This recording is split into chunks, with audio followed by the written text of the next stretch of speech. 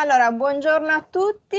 Oggi è il 24 febbraio 2022 e siamo collegati per uh, ancora una puntata del nostro canale Fight the Virus eh, su un argomento che ha riscosso già dall'inizio, dall'annuncio dell'argomento, eh, tantissime, tantissime, domande, tantissime richieste di approfondimenti da parte delle, delle nostre famiglie. Oggi con noi c'è il dottor Manuele Lampasi. Buongiorno Manuele. Buongiorno, buongiorno a te, grazie e benvenuto. Manuele è un uh, ortopedico pediatrico, si occupa in particolare di quelle problematiche ortopediche che sono connesse a problemi neurologici ed è per questo che è eh, comunque un professionista interessante per noi, sia perché è un, uh, un tipo di professione abbastanza rara, diciamo, sul eh, territorio italiano, sia perché poi il tema legato al cammino, a interventi spesso non reversibili è un, un argomento eh, che è sempre molto presente nelle conversazioni dei genitori fin dalla, dall'età de, della prima diagnosi, quindi parliamo di bambini con paralisi cerebrale infantile. Eh, Manuele, prima di iniziare facciamo un patto d'aula, primo ci diamo del tu. Bene, meglio così ristabiliamo le, le asimmetrie, che beh, bastasse, bastasse solo darsi del tu per ristabilire le asimmetrie. E ognuno di noi poi è consapevole del ruolo del fatto che io rappresento i genitori, quindi un'audience abbastanza allargata e variegata, in questo caso bambini con paralisi cerebrale infantile che possono avere un range, uno spettro molto ampio di eh, esiti rispetto alla lesione neurologica e che soprattutto non siamo esperti eh, di linguaggi molto tecnici, molto scientifici, per cui spesso proprio nella riunione con l'ortopedico spesso si esce fuori in cui non, non, si è capito molto. Forse con il neurologo forse è peggio ancora quando eh, ti ecco, restituisce infatti, il referto. Vale anche per noi a volte. ecco però anche con, con, con, l'ortopedico si fa poi fatica, tanto che appunto oggi abbiamo condiviso di eh, eh, assecondare, di, di, leggere una serie di domande che i genitori ci hanno fatto e Emanuele oggi ci accompagnerà in questa presentazione, questa condivisione dello schermo che vedrà appunto toccare tutti questi punti di cui abbiamo parlato. In linea generale eh, vi, eh, vi, anticipo che parleremo beh, innanzitutto cenni di anatomia e fisiologia proprio perché appunto ne, ne sappiamo poco e per eh, riuscire ad interpretare meglio la diagnosi, la prognosi e i futuri interventi dei, di questi bambini è, è, assolutamente fondamentale per noi eh, capire il linguaggio.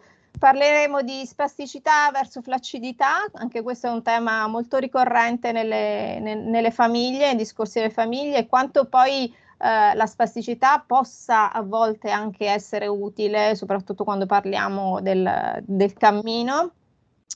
Parliamo di interventi chirurgici comuni nelle paralisi cerebrali infantili e su quando ricorrere alla chirurgia in età evolutiva.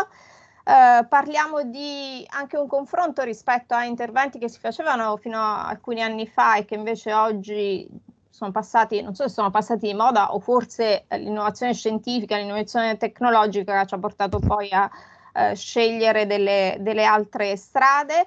Parleremo di termini legati a interventi che lo stesso ricorrono spesso nelle conversazioni, cioè SDR o all'italiana RDS, cioè l'intervento di rizotomia dorsale selettiva, l'intervento di fibrotomia, eh, di tenotomia, i problemi legati all'iperestensione del ginocchio. Un altro tema che ricorre spessissimo è il tema della eh, gamba più corta, quindi il fatto che questi bambini in età evolutiva crescono eh, con problemi di eterometria oppure anche problemi che si presentano nella seconda fase, tipo i piedi piatti e proni, eh, quanto queste casistiche siano frequenti e cosa poi eh, quale può essere poi il, il consiglio.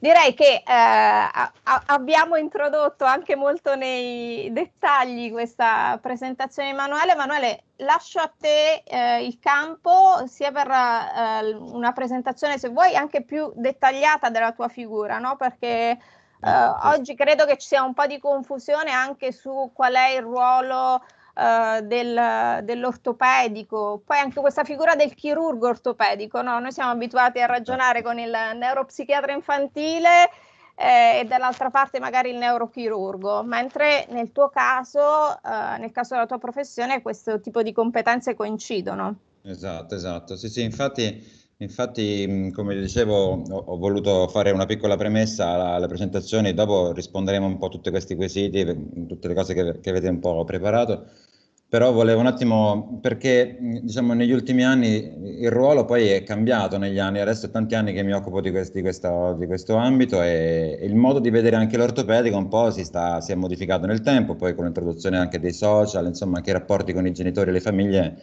ha avuto delle modifiche, quindi ho creduto che fosse doveroso eh, anche accennare a questa problematica.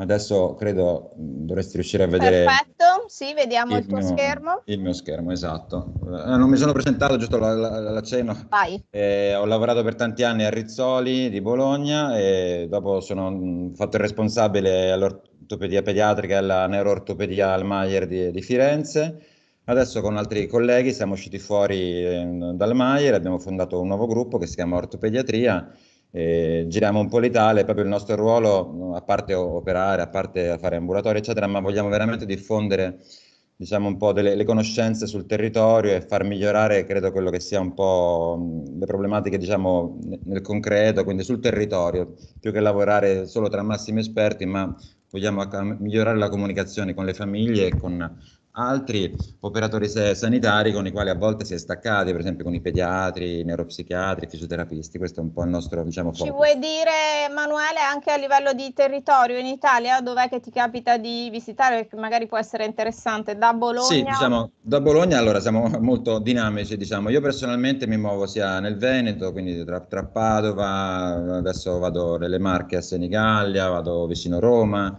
vado in Toscana e poi altri colleghi che lavorano con me, a loro volta loro si muovono e arriviamo fino in Sicilia, in Sardegna, in Puglia, insomma stiamo coprendo un po' il territorio nazionale, la cosa che cerchiamo di fare è di avere tutti quanti le stesse idee, le stesse, la stessa mentalità, diciamo, ecco, cerchiamo di, ecco, siamo tutti giovani ma con, con voglia di fare l'esperienza allo stesso tempo. Comunque andiamo avanti subito a parlare di, di questa problematica perché eh, quando mi hai contattato io ero, sono stato molto contento perché veramente è una criticità questa qua. No? Innanzitutto, come hai giustamente detto, la neuroortopedia è un campo super, super, super selettivo, è una cosa che praticamente non piace a nessuno, fondamentalmente, probabilmente perché è poco remunerativa, però richiede delle competenze molto specifiche. Allora, in Italia siamo veramente pochi e sempre di meno in realtà, quando qualcuno va in pensione, poi diciamo dal basso le, la formazione degli ortopedici in generale va verso la protesica, verso altre branche, quindi è difficile unire queste competenze che sono molto trasversali.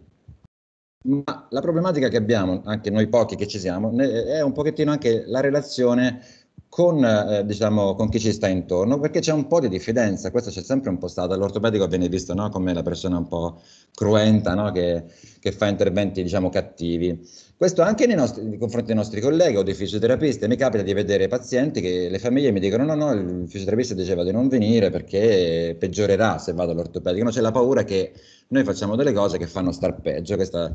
Allora mi sono domandato un po' da dove arriva questa cosa. Penso che in parte sia colpa nostra, no? cioè in parte gli interventi che abbiamo fatto in passato o che si fanno ancora con modalità sbagliate che hanno portato magari a peggioramenti. Allora rimane nell'orecchio questa cosa di un peggioramento e dice è inutile che vai a fare un intervento per star peggio e questo siamo d'accordo, però questo non vuol dire che non devi andare dall'ortopedico, ma secondo me che devi rivolgerti a chi si dedica a questo dalla mattina alla sera, perché le conoscenze come vedremo sono molto cambiate in questi anni, oppure a volte non si sa nemmeno di quello che può fare un ortopedico e quindi semplicemente non si invia perché non hai un'idea di, di quello che c'è di possibilità. O perché spesso non fa parte dell'equipe, no? Siamo sì, abituati esatto. a vedere il fisiatra, Anche. il fisioterapista, però Anche questa figura sì. forse si sovrappone anche molto vicina al ruolo del fisiatra, no? Esatto, però il fisiatra, come dire, i fisiatri con cui collaboro, che sono, molto, che sono bravi, secondo me hanno eh, la, la, diciamo, la percezione del loro limite, dove devono fermarsi e dove devono inviare, ma poi inviare non è che vuol dire che io per forza lo devo operare, no? Questo credo che sia anche il concetto, cioè tu me lo invii, io prendo atto, ti dico no, non è da operare, però già conosco, conosco la situazione e ti dico quando potrebbe essere, no? Cioè c'è una collaborazione e nasce per questo, quindi non è per forza io non, non, riesco più a fare niente, sono disperato, allora provo anche quella strada lì, no? Secondo me cioè, si può cambiare un po' questa interazione, diciamo. Eh, le altre criticità sono per esempio nei confronti delle famiglie, chiaro, questo è, inevitabilmente no? chi ha una problematica ha un po' paura di, di, effettuare un intervento grosso, tra virgolette, e spera sempre che ci possa essere una strada eh, minore, no? conservativa, di, insomma, di, più dolce. A volte purtroppo si, si spera eh, in miracoli, insomma, questo il problema è anche che in quest'ambito, per chi ci sta dentro da tanti anni, periodicamente esce fuori una promessa nuova e a volte sono la, solo la promesse. La pura miracolosa. Esatto, a volte sì, a volte magari è l'inizio di qualcosa, eh? e a volte invece purtroppo non lo è, c'è tanta gente che, che va dietro e sbagliando. Eh, chiaramente non sono colpe, però bisogna che chi c'è dentro, come anche il vostro ruolo per esempio, no? che, com, come gruppo eccetera, credo che il, fo- il, ruolo sia fondamentale questo qua, perché chi, chi guida, per esempio qua l'ho messo, no? il ruolo dei social, chi è a capo di questi gruppi o anche su Facebook, adesso ogni genitore che ha questa problematica, la prima cosa che fa ormai è andare su, su Facebook, no? quindi se si imbatte in un leader di un gruppo che, come dire, non ha eh, quelle capacità, perché non è che c'è un corso no, per queste cose, credo almeno. No, in, re- in realtà sì, c'è ci sono delle volendo. competenze anche in questo ambito di community manager, di pazienti esperti, anche su questo si studia. Esiste.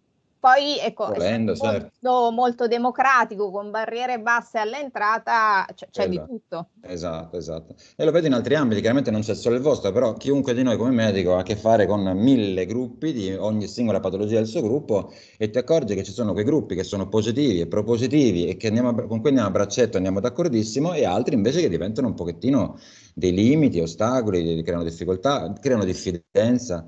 La cosa peggiore secondo me è la diffidenza, quando c'è questa diffidenza verso la medicina tradizionale e si cercano strade a volte non, non, dimostrate e così secondo me poi si va verso problematiche insomma. Eh. Sì, sì. Io qua una deriva che poi è difficile da gestire. Eh, ho segnato anche l'esterofilia, questa ci caratterizza, no? spesso è molto meglio uno che sta, non so, in Spagna piuttosto che in America, semplicemente perché sta lì, ma magari fa peggio di quello che faccio io, no? A 50 km da casa, insomma, però va bene. E poi c'è anche la difficoltà, io ho visto alcuni che si sottopongono ad interventi, do, prima di tutto sono carichi, no? Su questi gruppi di, di social, dopodiché quando poi le cose vanno male, e poi dopo non osano nemmeno dirlo, lo vengono a raccontare nelle, nelle visite che facciamo in ambulatorio e, o se provano a dire mezza parola magari vengono poi tacciati di aver sbagliato loro, insomma cambia completamente la dinamica, però va bene adesso non, non voglio addentrarmi troppo in, in, questa cosa. Quello che voglio sottolineare è che dal punto di vista nostro abbiamo delle grandissime potenzialità e questo ogni tanto noi pubblichiamo dei video ma non per dire che siamo dei, anche noi facciamo miracoli, però ci sono delle strade possibili laddove eh, no, si crede che non ci sia più possibilità, insomma. L'altro lato della medaglia è che anche noi abbiamo le nostre colpe, cioè anche dal nostro punto di vista di medici o di ortopedici c'è bisogno di serietà. Che cosa bisogna fare? Non dobbiamo rincorrere le mode. Questo magari ne parliamo dopo quando si parla di alcune tecniche specifiche. Non dobbiamo utilizzare delle tecniche descritte in modo vago, dove la letteratura non ci dà il sostegno, non sappiamo neanche di che cosa si tratta, però ci lanciamo a farle senza capire di che si tratta. Dobbiamo rimanere comunque seri e in questo ambito, come ho già detto, è necessaria molta specializzazione. Secondo me, purtroppo, non è che ogni ortopedica può fare certi interventi, perché alcuni interventi dal punto di vista tecnico sono molto facili. Allungare un tendine d'Achille, per esempio, è un intervento molto facile, però puoi farlo in modo sbagliato, con le indicazioni sbagliate e creare dei grossi danni. Quindi credo che sia giusto affidarsi a chi fa questo, ok? Anche per interventi molto semplici. Il messaggio poi importante è che ogni volta che noi cerchiamo di renderla facile, comprensibile, eccetera, per qualcuno, come in questo caso, che ci stiamo provando, però il rischio è che semplificando facciamo una cosa sbagliata. Vero, questo lo, lo, lo, vediamo un po' dappertutto, in tutte le comunicazioni anche relative a questo periodo di emergenza, che tutte le volte che cerchiamo proprio di semplificare in 140 caratteri, perché quello è lo spazio, e poi eh, in realtà eh, generiamo una complessità maggiore, una sfiducia maggiore e quindi eh, assolutamente attenzione anche da, dal nostro punto di vista. Quindi prendiamoci tutto il tempo per spiegare. Ok, ok, ci proviamo. Ecco. Infatti, ecco, vedete, prima slide che ho messo qua, noi parliamo di un problema complesso, cioè non, cerchiamo di semplificarlo, ma la cosa è complessa. Questo, per esempio, è diciamo, l'algoritmo base di come noi andiamo a valutare una situazione a un bambino che cammina, per esempio. Vedete che è tutto un insieme di eh, analisi che noi facciamo che riguardano la visita, l'esame obiettivo, l'anamnesi, abbiamo una serie di scale, di modelli, insomma c'è tutta una complessità dove l'ABC per un bambino che cammina è conoscere perfettamente a menadito il ciclo del passo, per esempio, no? le varie fasi, il bambino che cammina, quando appoggia, quando il piede invece è in aria, cioè questi sono elementi che purtroppo non sono noti a tutti eh, gli ortopedici, non per parlare male dei miei colleghi, però insomma questi sono, sono l'ABC di, di, uno che vuole analizzare un bambino complesso, partire veramente da, dalle basi anche della cinematica e questo vedete, queste sono le curve per esempio che vengono fuori quando si fa una gate analysis, no? cioè attraverso il, la telecamerina e i software, poi ti danno delle curve che fanno vedere come ogni singola articolazione si muove, come si muove il ginocchio, come si muove eh, la caviglia, come si muove l'anca, cose che tu ad occhio nudo non riesci al 100% a, a cogliere. Quindi anche qui il limite, no? nel tempo si è andati da semplicemente una visita, faccio una visita e vedo come si muove la caviglia e decido di fare l'intervento. No, poi si è capito che eh, la caviglia era in relazione al ginocchio, era in relazione all'anca. Poi si è capito che però in realtà era queste tre cose nella, in un bambino, in quel bambino, in quel bambino con quella forma di paralisi cerebrale, con quella sua prognosi, con la sua età, cioè t- tutta una serie di eh, fattori che devo prendere in considerazione, quindi da che guardavo? Dallo spioncino a che ho allargato il campo in maniera enorme. E ho capito anche che andrebbe bene vederlo a rallentatore, perché a occhio nudo velocemente faccio fatica, infatti spesso durante le visite io col cellulare, ormai è comodissimo, no? col cellulare faccio, faccio, un video anche davanti alla famiglia, proprio perché mi rendo conto che non è, per quanto io mi senta, tra virgolette, no, un po' esperto, però devi avere anche, come dire, no, l'onestà l'umiltà di dire alt, magari a, a, velocità col bambino, magari anche poco collaborante, qualche cosa non l'ho colta. Sfugge. Esatto, e allora la riguarda il rallentatore. Ma questa è la pratica clinica ambulatoriale. Se poi devo decidere di fare un intervento, eh, forse non basta nemmeno questo, anzi tolgo il forse. Ci vuole eh, le telecamere, ci vuole le, le pedane di, di, di, forza, cioè andare a vedere tanti aspetti anche di, di forze che in gioco che eh, l'occhio nudo e neanche l'esperienza, neanche l'esperienza ti può dare al 100%. Ok? Ricordiamo, questo... scusa Manuele, non sì. abbiamo detto all'inizio che eh, la, la, la, tua relazione oggi sarà incentrata soprattutto sugli arti inferiori, sì. eh, perché, sia perché appunto è un ambito già di suo molto ampio, molto esteso e poi avevamo già fatto in passato anche una, una chiacchierata sempre su questo canale su Fed Virus relativo proprio al eh, l'arto superiore sì. ai problemi legati appunto alla, al bambino emiplegico. Per cui eh, volentieri ci interessa tantissimo e ci, mi, mi, intriga almeno personalmente molto questo ciclo del, eh, de, del passo perché eh, rispetto a un bambino, mi viene in mente a sviluppo tipico, probabilmente anche eh, i passaggi evolutivi, i primi passi, il mettersi in piedi su un bambino con eh, PC dalla nascita sono diversi, no? Cioè c'è quindi uno, uno slittamento più avanti? Sì, esatto, esatto. Tutto, tutto più avanti e poi si, si, instaurano dei meccanismi in parte legati alle criticità, diciamo, adesso le vediamo comunque questi aspetti, sia okay. di controllo che, che, di spasticità e di, di, di muscolatura, insomma e purtroppo se ne parlo. allora, quindi adesso qui ho iniziato a fare qualche cenno, giusto in funzione di quello che, ti vo- che, che voglio dire, cioè come sta cambiando la chirurgia ortopedica, proprio quindi tutto funzionale al discorso che facciamo. E, ehm, aspetta, perché ho una immagine sopra che mi copre un pochettino la scritta, scusa che provo Sì, anch'io la vedo, eccola, perfetto. Forse ah, copriva anche, anche l'immagine. Speriamo. Forse anche qui in basso, se riesci a toglierla perché a me non fa toglierla. Questa? E... Sì. Ah, perfetto. Okay, Benissimo. Scusami, ok, adesso andiamo avanti. Allora, questa è la teoria tra- tradizionale. Come viene spiegata la paralisi cerebrale gli interventi che facciamo? No? Si dice, allora, il bambino è spastico, eh, la spasticità perdurando, no? la, questa contrazione che si crea nei muscoli, rimangono talmente eh, contratti che a poco a poco si determinano delle alterazioni della muscolatura no? e dei tessuti che a poco a poco si rigidiscono e danno la retrazione, cioè si accorcia la, la muscolatura. Hm?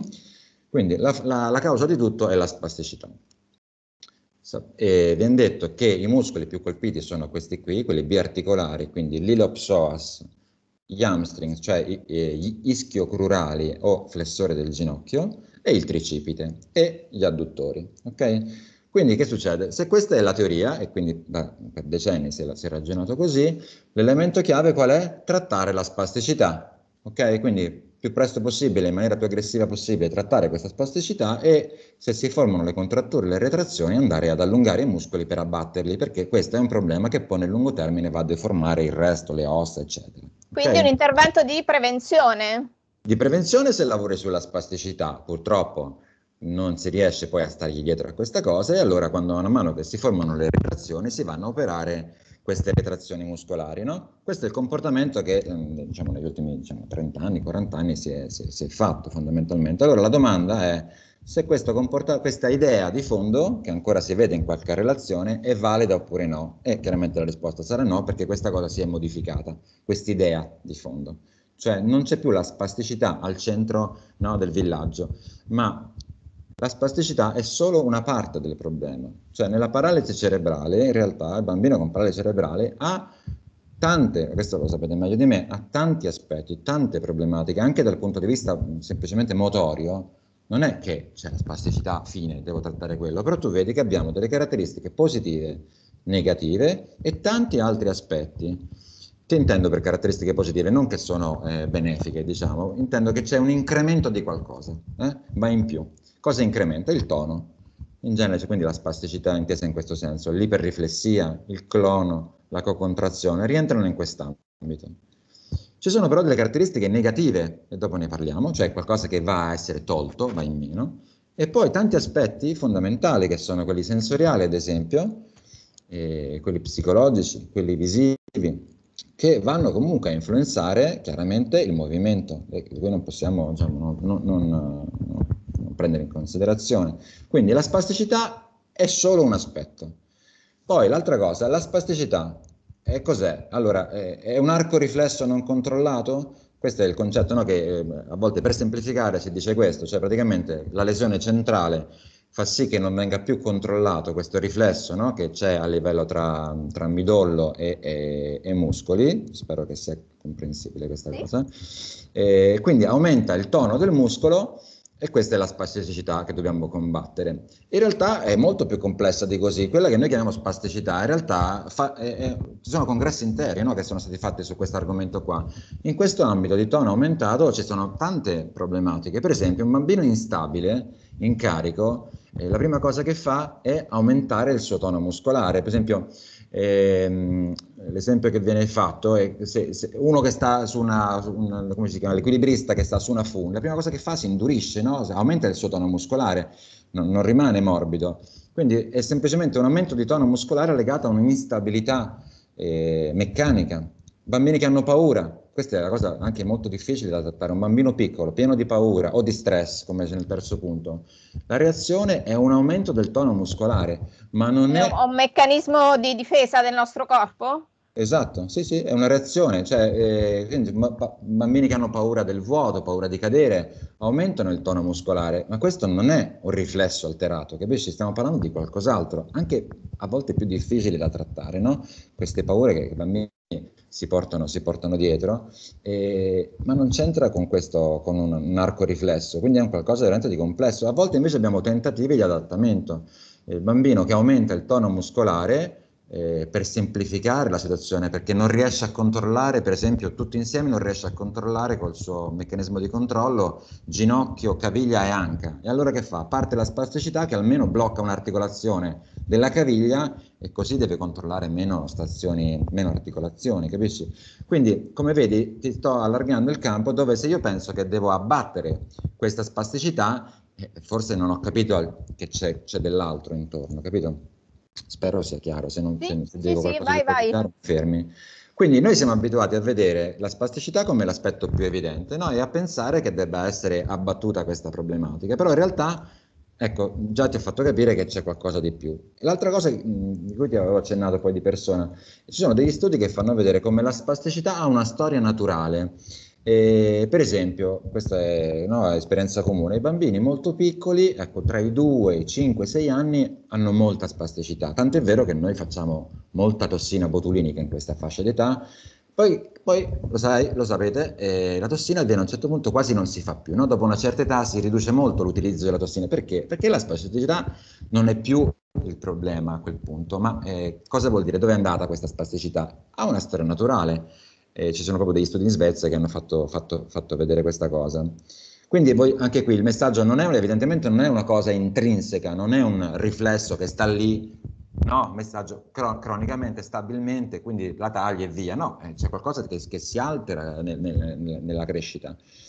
E, ehm, quindi il, cosa... il, timore, forse il, il, tentativo di trade-off, di mediazione è sempre quello, dire fino a quando aspetto a trattare questa spasticità a sé stante, esatto. eh, per evitare che mi arrivino delle retrazioni oppure eh, a un certo punto magari le, lo sviluppo, la crescita fa- faranno il loro corso. Esatto, esatto, in senso negativo o in senso eh, positivo. il problema volte, è non sapere, avere questo futuro incerto che... Esatto, esatto, però ecco, il messaggio adesso non è come dire togliamo di mezzo il trattamento della spasticità, il messaggio è di dire occhio perché non è, non è quello esclusivamente il problema, è, il problema è complesso, lo diciamo un'altra volta e, e, e, finché non avremo le idee 100% chiare bisogna evitare di trattare tutti eh, allo stesso modo, no? anche quando ne parleremo quando parliamo delle, delle rizotomie eccetera, quindi cominciamo, cioè finché non ci sono studi seri che ti mettono il paletto e ti dicono occhio che da qui in avanti eh, fai danni, no? O viceversa, secondo me bisogna fare un po', un po' attenzione.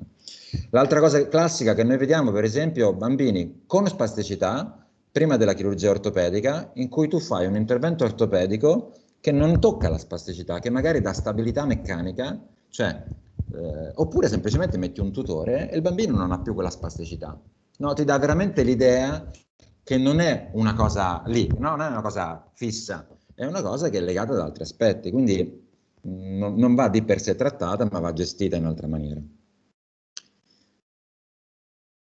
Questo per quanto riguarda le caratteristiche positive, ma il ruolo si sta spostando adesso, diciamo, la visione globale sulle caratteristiche negative, cioè qualcosa che manca, e questo è evidente, no? Quello che manca è un controllo selettivo, cioè il bambino ha difficoltà a controllare, non so, per esempio il ginocchio, a controllare la caviglia verso l'alto, c'è l'instabilità, la mancanza di equilibrio e la debolezza, sottolineato perché ora parleremo proprio della debolezza. La debolezza... È come se questi bambini eh, avessero un sistema di comando on-off, o spento o acceso, cioè non ci sia questa modulazione. Sì, è scarsa, è scarsa, è difficile, è difficile anche da migliorare nonostante, nonostante i trattamenti, terapie, trattamenti in, in, molti casi, no? Però sono tutti aspetti dove, eh, ancora una volta, il messaggio è questo, cioè queste cose bisogna lavorarci, cioè è inutile che io penso io faccio la spasticità e, e chiuso, no? Voglio, voglio, dire questa cosa qua. Per quanto riguarda la debolezza, da cosa deriva questa debolezza? Eh, innanzitutto che cos'è? È, è, è, fondamentale, tu pensi ai bambini che spesso andando avanti con l'età perdono il cammino, cioè magari ci, ci lottano, ci lottano fino a un certo punto, poi a un certo punto viene più comodo per loro andare no, in carrozzina, più comodo ovviamente è un brutto termine, però per dire fa meno fatica eh, sedersi che non continuare a combattere contro, contro la fatica di, di, di, stare in piedi. No? E, e, proprio perché col tempo questa debolezza ha la, ehm, diciamo, ha la meglio su, su, tutto il resto. E quindi riuscire a, dire, a, combattere questa problematica è secondo me veramente, non so, non so secondo me, la chiave per prolungare no? le possibilità di, di cammino de, dei bambini.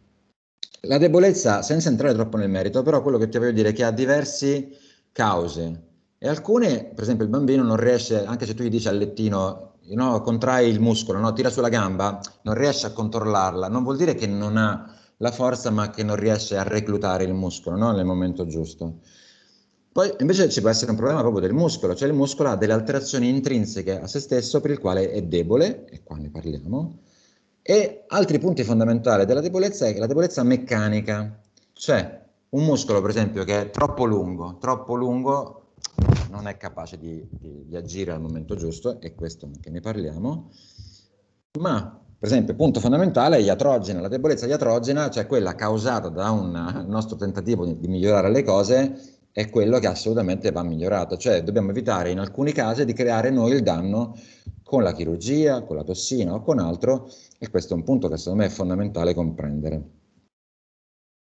Primo punto sono le alterazioni muscolari, cioè quello che si è capito è che la paralisi cerebrale non è solamente un problema di cervello, no? Sembra, sembra facile dirlo, però non è così, cioè questi bambini hanno delle problematiche già dall'inizio all'interno dei loro muscoli, cioè il loro modo di crescita dei loro muscoli non è solamente secondario al problema neurologico, ma è come se venisse in parallelo, ok? Cioè, quindi hanno dei muscoli che sono piccoli, ehm, più pieni di tessuto fibroso, più pieni di grasso. Se tu guardi al microscopio vedi più, più grasso all'interno. No? Quindi Questo dipende, massa... secondo te, Emanuele, anche dal momento in cui è, è intervenuta la lesione, quindi esatto. anche nella fase di sviluppo? Probabilmente sì. Allora, questo è interessante, per esempio, questa domanda, perché ci sono degli studi che proprio che vanno in questa direzione, capire il perché di questa cosa. E, ehm, e probabilmente nel momento in cui c'è questa lesione primaria, va, sembra che mh, vada a interessare veramente a livello microscopico anche il DNA stesso, anche il DNA stesso. Infatti l'ho messo in un punto successivo, se tu vai a vedere si parla di epigenetica, eh, ci sono degli studi che vanno a vedere come il DNA di questi bambini è stato probabilmente alterato non nel DNA, ma nel modo in cui le particelle di DNA sono aggregate tra di loro. Non so se questo è un discorso. Forse è, un, è anche un meccanismo di risparmio del nostro corpo? Non so, noi fino ad oggi ci siamo sempre preoccupati nei bambini prematuri appunto dello sviluppo di alcuni apparati, penso ai polmoni, tutto quello che si è fatto, su, però forse nessuno era mai andato eh, a guardare su questi bambini anche l'apparato muscolare. Sì, sicuramente, cioè, questo, è, questo, è, tutto un territorio in esplorazione, se tu guardi i nuovi lavori, sono tutti su questa roba qua, cioè, gli ultimi due o tre anni c'è tutti studi ecografici, eh, risonanza, eccetera. Ma a me quello che mi è interessato molto, io penso che molto ah, del futuro sarà questo qua, anche di vedere la genetica. Ci sono alcuni studi che ti fanno vedere che a livello di DNA tu dovresti riuscire a riconoscere anche questa metilazione, si chiama, cioè come il DNA è stato modificato in un bambino con paralisi cerebrale rispetto a un bambino che non ha avuto un problema alla nascita e quindi addirittura ipotizzano di poter fare diagnosi precoci attraverso l'analisi del DNA. Insomma, non è il mio questo, quindi alzo le mani. Però quando ho letto questo articolo recente ho detto ah, che è spettacolare questa cosa, quindi penso che una delle direzioni probabilmente sarà anche questa, insomma.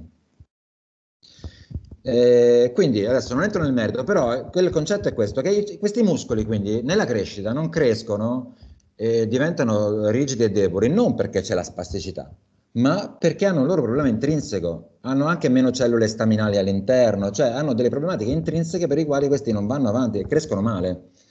Quindi queste ruole che io qua ho elencato sono più importanti che la spasticità e quindi anche qui te la sto togliendo un pochettino di mezzo, diciamo, come centralità. Quindi, se abbiamo capito che la debolezza è in realtà la centralità, secondo me, tutto quello che dobbiamo fare è cercare di mettere in atto strategie per risparmiare la forza muscolare e la funzione muscolare. Ok? Ed è in questa direzione che ci stiamo spostando. Questo che succede? Che con la crescita queste alterazioni positive, negative e muscolari nel tempo determinano tutto quello che noi vediamo nei bambini più grandi, quindi le alterazioni secondarie, quindi soprattutto l'osso che si deforma, eh, i femori intrarotati, le, le illustrazioni d'anca, eh, le, le, lever arm dysfunction, questo qua è un punto importante. Cioè, adesso ne parliamo, cioè come le leve, lever arm vuol dire braccio di leva, cioè le leve muscolari e le ossa che si deformano e che provocano a loro volta delle alterazioni. Però queste alterazioni non c'erano alla nascita, ma si determinano a causa di quello che abbiamo detto prima. Capito? Sì.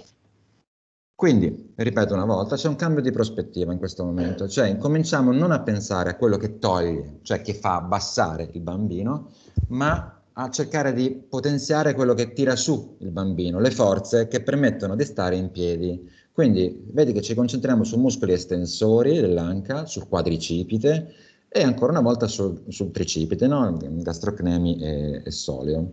Quello che ci può aiutare è a sollevarci. Torniamo una volta ancora a come il passo si determina. Guardiamo non solo come le, le, gambe sono menole, i ginocchi, le articolazioni sono posizionate in ogni singolo momento, ma guardiamo quali sono i muscoli che sono attivi in ogni singolo momento. E se noi guardiamo nel momento centrale della, ehm, del passo, mid stance si chiama, se tu guardi il, il punto fondamentale è quel muscolo che è ingrandito è il tricipite. La chiave di volta di questi bambini, per stare in piedi, di tutti noi, persone normali e bambini, per stare in piedi è il tricipite, che serve, è fondamentale per la spinta verso l'alto. Se il tricipite non funziona, automaticamente si va verso il basso. Ok? Ma non solo è importante la forza, è importante la leva. questi sono concetti biomeccanici, cioè però se tu guardi, cioè, se tu puoi avere un, sulla sinistra no, il, diciamo, il ragazzo pesante è più pesante dell'altro, ma se ha un braccio di leva con cui agisce che è corto, alla fine la sua forza sarà effic- inefficace se vuoi, no? quindi non è soltanto la sua forza di spinta, ma come la sta facendo funzionare. Quindi pensiamo ancora al tricipite e agli altri muscoli, al quadricipite, eccetera, e alla, ma alla leva con la quale loro agiscono. Okay. Mi viene da chiederti, Emanuele, quindi in questo passaggio che poi adesso ci, ci, ci chiarirai andando avanti, eh, c'è della genetica che favorisce alcuni bambini eh, rispetto ad altri? Se uno è più alto, più basso, più magro, sì, più... Sì, sì probabilmente qualcosa? sì, anzi sicuramente sì. Sicuramente o se sì. uno ha una lassità dei tessuti esatto, proprio per come è fatto. Questo soprattutto, tu metti che hai già una familiarità di tuo per, eh, non un piede piatto, una extra rotazione delle gambe, eccetera, quella non è che sparisce con la paralisi cerebrale, no, quella viene incrementata probabilmente, cioè trova un terreno fertile laddove una debolezza o un alterato controllo muscolare fa incrementare queste, questi aspetti, quindi sì, sicuramente questo può spiegare perché alcuni poi vanno anche in peggioramento rispetto ad altri a parità di altri elementi, no? Sì, sì, sono d'accordo. Ehm, questo è difficile da comprendere, però qual è la forza con la quale noi interagiamo continuamente mentre camminiamo? È la forza di reazione al suolo. Semplificando, la facciamo molto semplice, la forza di gravità, no? Come la forza di gravità agisce rispetto alle nostre articolazioni, perché in base a come agisce eh, va eh, a spingere in avanti o indietro no? le, nostre, le, nostre, articolazioni. Quindi abbiamo di mezzo tutte queste cose qua, le forze, le leve e la, la, forza di reazione al suolo. Ma il punto fondamentale di cui noi parliamo è questo, questo schema qua, difficile, deve essere compreso, io chiaramente non sto parlando soltanto ai genitori, sto parlando a fisioterapisti, a ortopedici, a colleghi come me. Questo per noi è l'ABC di quando leggiamo dei lavori scientifici, cioè questo eh, accoppiamento, cioè praticamente come agisce la forza di reazione al suolo, la forza di gravità tra virgolette, rispetto al nostro ginocchio. E questo agisce attraverso un braccio di leva, cioè il braccio di leva, quello che, che dicevo prima, è il nostro piede. Cioè il nostro piede è la leva attraverso la quale noi andiamo a spingerci verso l'alto e a spingerci per stare dritti. Eh, la, la, semplifico. Se tu guardi l'immagine in alto, sopra, al centro, si vede la persona dritta, dritta, no? Col ginocchio dritto. Quando noi stiamo in, in piedi fermi, no? eh, sull'attenti, perché stiamo col ginocchio buttato indietro? Stiamo col ginocchio buttato indietro perché in quel momento non facciamo fatica, giusto? Possiamo stare in piedi a lungo senza far fatica. Perché? Perché se il ginocchio è indietro, eh, i muscoli lavorano pochissimo, cioè praticamente stiamo in piedi semplicemente per, grazie ai nostri legamenti e non facciamo nessuna fatica. Se pieghiamo un po' il ginocchio, incominciamo ad avere il ginocchio un po' piegato, allora si modifica questa forza che stavo dicendo qui e automaticamente tu vai a fare fatica, fai fatica di quadricipiti, fai a fare fatica di, di tricipiti, eccetera. Questo ti fa capire come basta poco, la, le forze sono le stesse, ma se tu cambi la posizione del ginocchio vai a fare molta fatica. Immaginati un bambino che ha un ginocchio piegato, come automaticamente sempre più diventa piegato, perché è una posizione che non puoi mantenere a lungo. Ok? Quindi okay. è tutto un concetto biomeccanico che spero che, che, che si sia capito. Allora, questo è quello che ti dicevo prima, cioè come una disfunzione del braccio di leva va a creare problemi. Cioè, se tu, questa è la normalità, cioè la tua spinta del tuo piede agisce bene sul tuo ginocchi la tua gamba e te la butta indietro e ti fa fare meno fatica e ti fa stare dritto. Nel momento in cui si deformano i piedi, piedi o piatti, tu non riesci a reclutare tutti i muscoli che ti servono, no? Magari. È più, è più sottile. I muscoli li recluti, ma non agiscono, quindi non è che sei debole, il muscolo tuo è lo stesso, ma non riesce a fare forza efficace perché la sua forza va in una direzione, il tuo piede va in un'altra, capito? Quindi tu spingi, ma il tuo piede è dall'altro lato, è in fuori. Mentre tu spingi dritto, col quadricipite, no? con la rotula, tu spingi in un asse, il tuo piede che sia sfiancato o perché è piatto perché è di là, no? non ha più un braccio, non ha una leva comoda e crolla. Non ti dà quindi se tu già sei debole col tuo quadricipite e col tuo tricipite, automaticamente se non hai una base solida sulla quale spingere, vai giù. La sensazione che ha il eh, paziente, Emanuele, è una sensazione di dolore, di affaticamento? All'inizio no, all'inizio no, ma nel tempo sì, proprio perché cosa si affatica? Per primo il ginocchio, il, la rotula. No? La prima cosa che succede è che il ginocchio andando giù va a fare... Lui che fa come risposta? Siccome non riesce a controllare, la prima cosa non è che va giù, sforza ancora di più il, il quadricipite, tira ancora di più, tira, tira, tira, nel tempo che succede? Che il quadricipite sfianca la rotula, il tendine rotuleo si allunga, il quadricipite si allunga perché si sfianca, eh, quindi è, è, è, come una specie di circolo vizioso che si va a creare, che però provoca la, la rotula, proprio la vediamo che si deforma, no? si allunga, il tendine rotuleo fa uguale e iniziano i dolori alle ginocchia. Però nonostante si allunghi, lui che fa? Recluta ancora di più. E, in realtà quello che ti voglio dire è che nonostante, come la puoi trattare questa cosa? Non la puoi trattare con cioè sì, la farai la fisioterapia, cercherai di potenziare, però in realtà tu non è il problema che è debole, il problema è che non c'è il braccio di leva. So Francesca, se, se, Qu- se, qualcosa sì, l'altra considerazione, visto che non posso intervenire sul braccio di leva, posso intervenire né tanto sul, sulla debolezza, posso intervenire sul uh, cammino e sulla forza che genero uh, rispetto al cammino, alla, al, alla terra che tocco, cioè un terreno diverso? Primo, sì, no, un primo no, il primo, il primo, diciamo, la cosa semplice da fare, per esempio, è allineare il piede e rimetterlo in asse, per esempio, con un tutore per esempio. Capito? Eh, la, la, cosa più semplice è... in quel modo io stresso di meno il ginocchio. Bravo, esatto. E questo, per esempio, ti può consentire banalmente, senza dover ricorrere a chirurgia o chissà che cosa, se quel piede è ancora, come dire, maneggiabile, no? ancora si può riportare in asse, non è che per forza lo devo operare per rimetterlo dritto. A volte basta un semplice tutore lo rimetti in asse, il bambino non ha più dolore al ginocchio e cammina, ci può, magari ci va avanti degli anni, hai capito? Però se io... noi vediamo questi tutori messi già nel, nel, primo momento in cui si mettono in piedi i nostri bambini, no? Sì, a volte questa cosa viene vista in maniera negativa.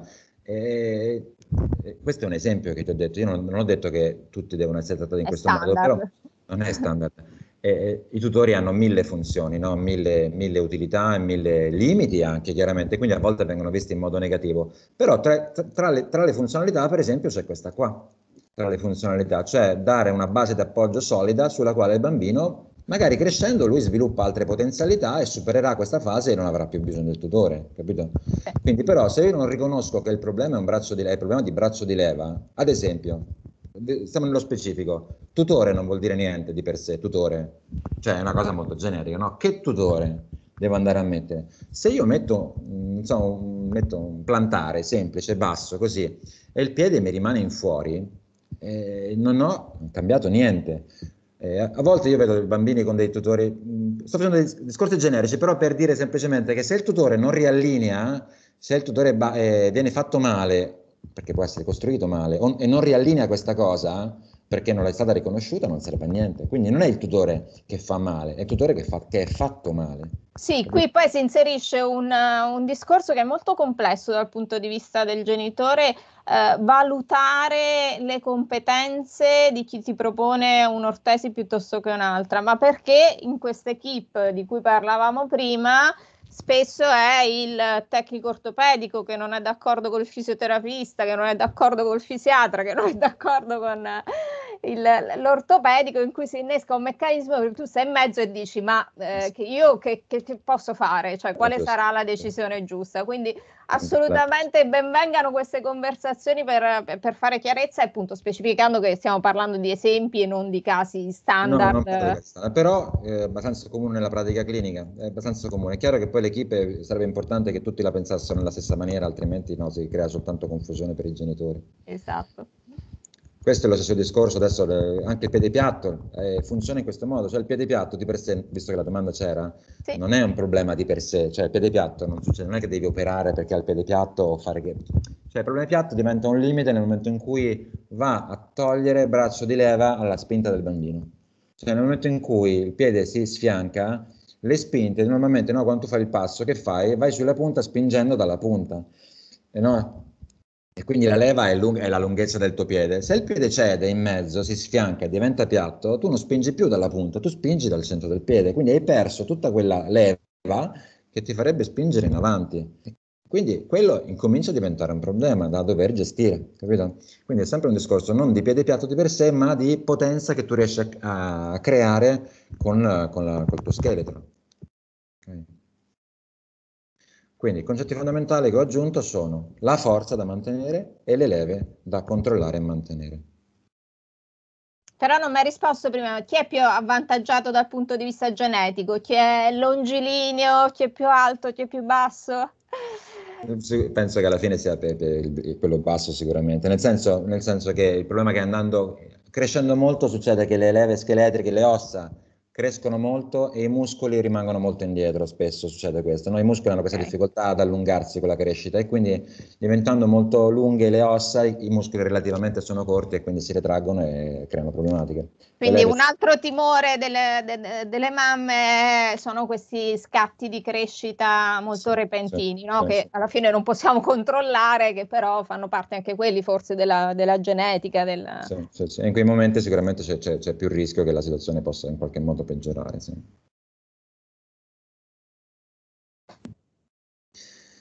Ok, questa diciamo, era diciamo, la, l'introduzione generale, spero non sia troppo complessa, ma per capire, eh, ma penso già si sia capito dove stiamo andando con la chirurgia, e con, con, con, ma anche con, le, con i tutori, no? la direzione, ma un po' con tutto, perché adesso introduco il discorso della, della tossina botulinica, per esempio, se vuoi vado avanti, eh? Okay. Vai, vai, vai, assolutamente. Cioè, gli aggiornamenti, adesso io non entro troppo nel merito, però eh, la tossina botulinica, che cos'è? Questo credo lo sappiano tutti, però eh, stiamo parlando di come gestire la spasticità.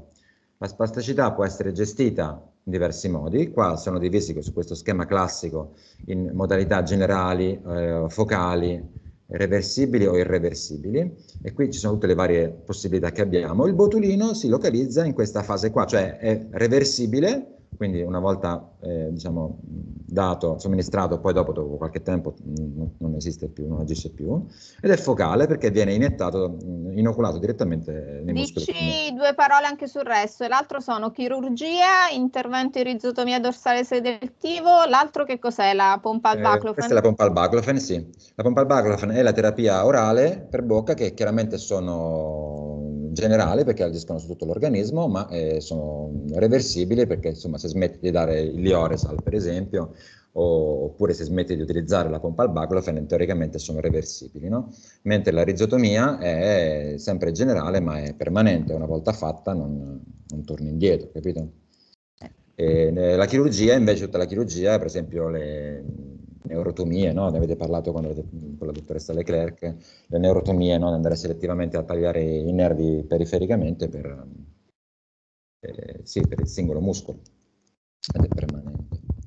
Eh, quindi questa è la, la, visione tradizionale del botulino, cioè tu fai la tossina botulinica su questo muscolo spastico, qui viene, viene identificato come una, come una molla, dopo la tossina il muscolo riduce la sua spasticità Dopo sei mesi il muscolo recupera, cioè scusa, ritorna come prima, ha un recupero completo e ritorna spastico. Questa era la visione tradizionale, però anche qui, come ti dicevo prima, il dubbio è, è veramente reversibile questa cosa?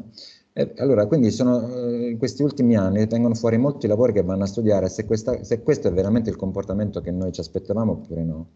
E questa è per esempio una review recente fatta da un grosso gruppo australiano nel 2019 dove incomincia a fare, non incomincia, addirittura tira le somme di tutti i lavori scientifici e fa una grossa critica alla visione che avevamo della tossina botulinica nella paralisi cerebrale nei bambini. E, e, e dice la, la, la, la, visione attuale ti fa vedere che è questa qua, cioè l'effetto primario della tossina in realtà non è la spasticità, ma è creare un'atrofia muscolare, una debolezza.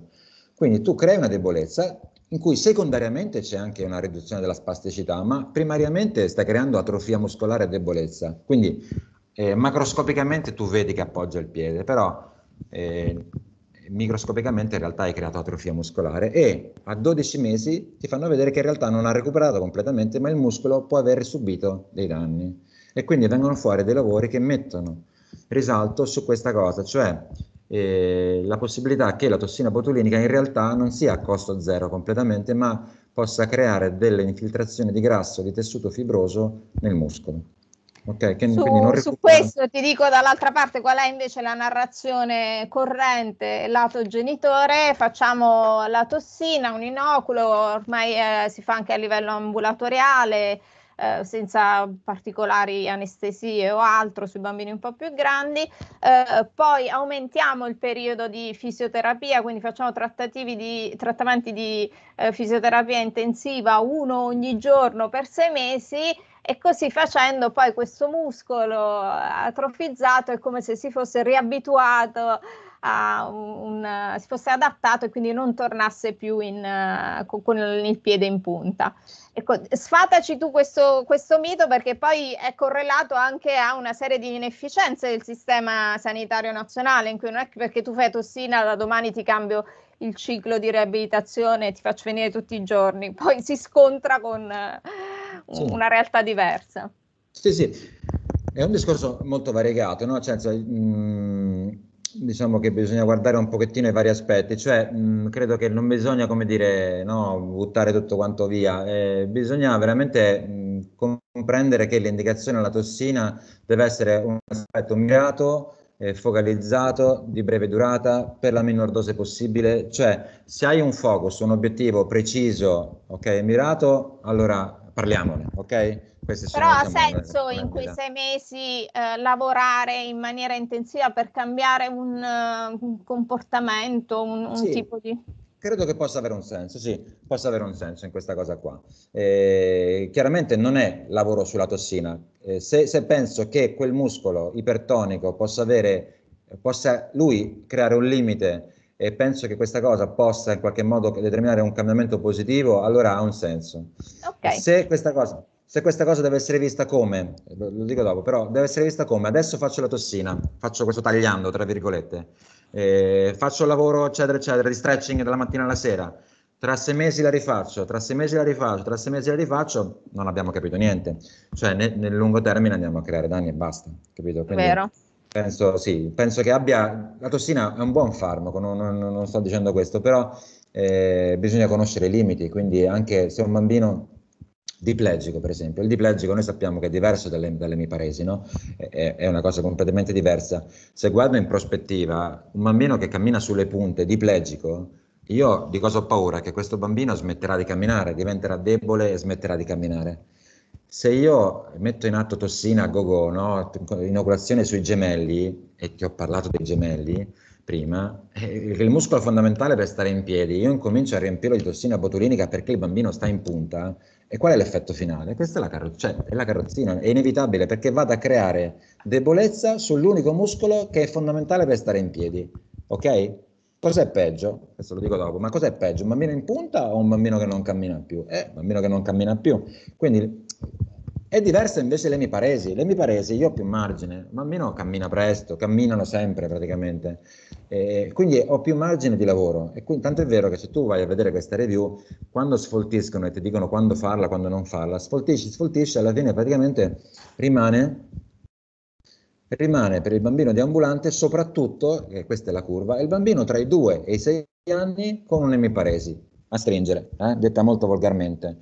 Mentre. Vediamo questa cosa della classificazione, Emanuele, da, dal sì. grado 1-3, così almeno siamo sì. chiari. Anche. Allora, questa GMFCS è una classificazione che in soldoni ti dice diciamo, le capacità di, di deambulazione, di mobilità dei bambini, no? eh, dal bambino grado 1 il bambino eh, diciamo, capace di muoversi autonomamente senza bisogno di sostegni, andando avanti dalla 1 alla 5 abbiamo bambini che hanno bisogno di, di bastoni, poi di, di deambulatore, fino ad arrivare ai gradi 4 e 5 dove praticamente il bambino è in carrozzina e diciamo, è dipendente negli spostamenti dalla, dal, dal caregiver, dal, dal genitore, diciamo, capito? Quindi è una classificazione diciamo, di, di, di, gravità del potenziale motorio, riferito alla deambulazione chiaramente.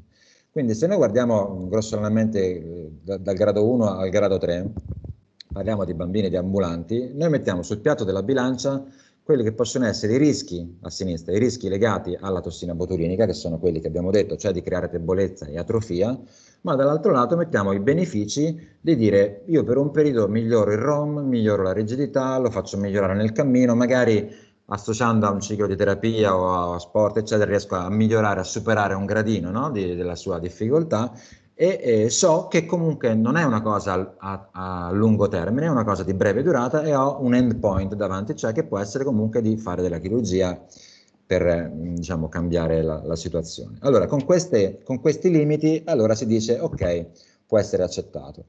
Però come tu vedi nelle curve sotto, questa è la classica esperienza che noi abbiamo, cioè il bambino fa molta tossina tra, nella, fascia, nella curva a sinistra, no?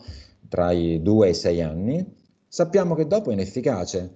Dopo si instaurano delle contratture, delle torsioni ossee per le quali è inutile che io continui ad andare di tossina a oltranza fino ai 14-15 anni, perché ancora una volta non ho compreso evidentemente a fondo quello che sta succedendo, almeno questa è la mia impressione. Per esempio, mi è capitato due giorni fa un bambino di avrà avuto 12-13 anni, con un ginocchio flesso, e la proposta era di fare della tossina su, sui flessori del ginocchio per vedere che succedeva. Però cioè, questo è un bambino con un ginocchio flesso a 12-13 anni, dove si sono instaurate delle contratture articolari, delle rigidità del quadricipite, la, la rotola alta, cioè ci sono delle complessità ormai che si sono instaurate dove fare una tossina sugli ischi curali è veramente una cosa che la puoi fare con uno scopo mirato, cioè andare a capire, a prevedere che cosa può darti la chirurgia, ma solo in funzione di non pensando o illudendo, perché la famiglia era convinta che questo potesse cambiare la sua storia naturale, che, che la cosa potesse cambiare. Ok? Sì, forse c'è questa mh, sensazione che il botulino sia un po', a parte che l'hai fatto vedere tu prima, era chiara quella eh, matrice di prima dove gli interventi sono veramente quattro incroci in questo settore qua, quindi non, non c'è tanto da, da, spaziare su soluzioni alternative, però sì. è come se il botulino poi alla fine, alla fin fine fosse il, il male minore, ti dà sì, quella sì, sensazione di... Sì. Uno dice io ci provo e vediamo che succede, sì, non è... Non è... un, po', un po' fatalista direi nel 2022 ancora. Sì, sì, sì, questo sì, senz'altro. E, e forse ancora peggio questa, questa, slide, cioè nel senso che loro arrivano a dire che nei bambini gravi, cioè bambini in carrozzina fondamentalmente o che non camminano, addirittura arrivano a dire che i rischi sono superiori ai benefici, cioè eh, arrivano a dire che nei bambini sono stati descritti anche eventi avversi, quindi a livello di respirazione, di aspirazione, così, per i quali loro sconsigliano di, di fare della tossina botulinica. Eh, questo è un messaggio forte che è stato contrastato poi da altri colleghi che hanno risposto a questa, a questa review, però eh, diciamo che il messaggio secondo me da, da, prendere è che anche in questi pazienti può essere effettuata la tossina botulinica, ma ancora una volta non può essere effettuata a oltranza. Cioè tu che cosa fai? Fai tossina, so, negli adduttori ogni sei mesi per tutta la vita? Non, non può essere questo, no? La soluzione, a meno che non c'è un, un, un, un, obiettivo molto preciso a livello antalgico, eh, bambino che non è operabile. Ecco, in questi casi no, non hai altre strade, allora per il comfort cerchi, cerchi questa soluzione, però in linea di massima anche qui si stringe veramente il ruolo, il ruolo della tossina. Diciamo anche però Manuele che appunto chiamandosi tossina botulinica già all'inizio alcuni genitori hanno una presa di posizione eh, per cui dicono no no io non voglio mai fare, voglio, voglio mai mettere dentro mio figlio una sostanza tossica. No, no, no ecco, no questo, ecco, questo, questo possiamo fugarlo. Questo no, no, no, non, questo sì, anche, anche, a me è capitato sì, di avere genitori che da, tossina. Da quanti anni, lo dicevamo forse anche in intervista con Ferrari, credo che saranno una sessantina d'anni? Mi, mi sembra... Non lo so, onestamente. La, per la, cui... No, no, sicuramente eh, diciamo, dal punto di vista generale si, è visto che è relativamente sicuro, a parte casi specifici, cioè per esempio, ecco, cose più pericolose può andare a fare inoculazioni in, in territori prossimali, quindi eh, in bambini gravi, lì si è visto che ci possono essere delle problematiche, altrimenti no, è, è relativamente sicuro come farmaco, ma il, il fatto di chiamarlo eh, tossina non è, no, questo deve essere sicuramente fugato, no, questo non è un problema. Però ti dico, con, eh, con, indicazioni precise, eccetera, è un buon farmaco che quindi si utilizza, si, si utilizza regolarmente. Eh. Non voglio dire che io non lo utilizzo, a volte sono io stesso da chirurgo ortopedico a dire mando a chi fa la tossina, questo deve essere sempre me anche il ruolo no, dell'ortopedico, a volte di dire, di riconoscere quando è il momento di fare una tossina e inviarlo a chi se ne occupa, capito? L'altra cosa, per esempio, l'ho messo in questo punto qua, non ne parleremo troppo, però eh, la tossina si è visto che per esempio non funziona per migliorare le, le lussazioni di anca. Questo è un altro punto importante, capita a volte bambini che arrivano con anche lussate o sublussate, eh, mi è capitato un altro, l'altro giorno uno in Francia, ha un'anca con una radiografia lussata e il collega francese ha scritto mh, tossina e radiografia dopo due settimane, come dire magia e tra due settimane si è, si è risolta la lussazione. È, ci sono lavori anche randomizzati, doppio cieco eccetera, dove si è visto che anche la tossina associata ai tutori, ai tutori in apertura non, non, non, ha, non è nessuna efficacia. Manuele, sentiamo un po' di gracchiare di un microfono. Non so se è cambiato qualcosa, però. No, forse mi sono mosso io nella concitazione okay. del dialogo. Vai. Ora non lo senti più? Vai, perfetto. Forse ero io. Eh, quindi niente, ho messo dei semafori gialli a questa cosa, per me è importante. Non mi piace, quei, che, francamente, quei colleghi che fanno solo tossina, so, dalla, cioè magari sono specialisti, sappiamo che se tu lo mandi lì loro faranno tossina, eh, oppure che fanno tossina poi fanno uscire il paziente dall'ambulatorio, ogni, dicono torna tra quattro mesi che la rifacciamo eh, no, non mi piace, evidentemente, ripeto, c'è qualcosa che non è stato compreso nel meccanismo patologico su cui stiamo agendo. Eh, semaforo giallo. E ho messo un semaforo giallo, purtroppo lo devo mettere anche qua, e questo è un messaggio che secondo me va, va dato alle famiglie. Dice tossina non si fa, quindi cerco alternative, però in questo momento ci sono studi che si stanno facendo, ma non c'è eh, sicurezza su eh, altre metodiche alternative. Mi sto riferendo qui alle vibrazioni fondamentalmente.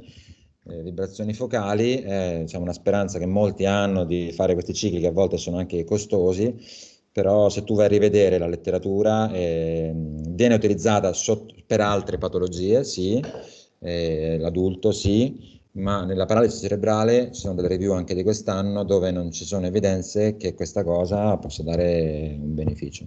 Quindi ripetiamolo, abbiamo toccato questo argomento anche in altre conversazioni, sempre con, con esperti. Eh, la vibrazione focale, soprattutto su sistemi eh, commerciali al momento, perché quasi nessuno la utilizza poi all'interno del sistema sanitario, eh, non è un tipo di trattamento che porta ai risultati evidenti. Quindi come lo stesso risultato, dicevamo con Ferrari in qualche intervista fa di fare un massaggio, ecco, ti fa sì. piacere, ti dà sollievo momentaneo, ma sicuramente no, non interviene. Esatto, un rilasciamento di breve durata, ma sul quale poi non, non ti ha cambiato molto, poi reinterviene la, diciamo, la sua, lo suo schema di tono sbagliato, di tono alterato, sì. Ok.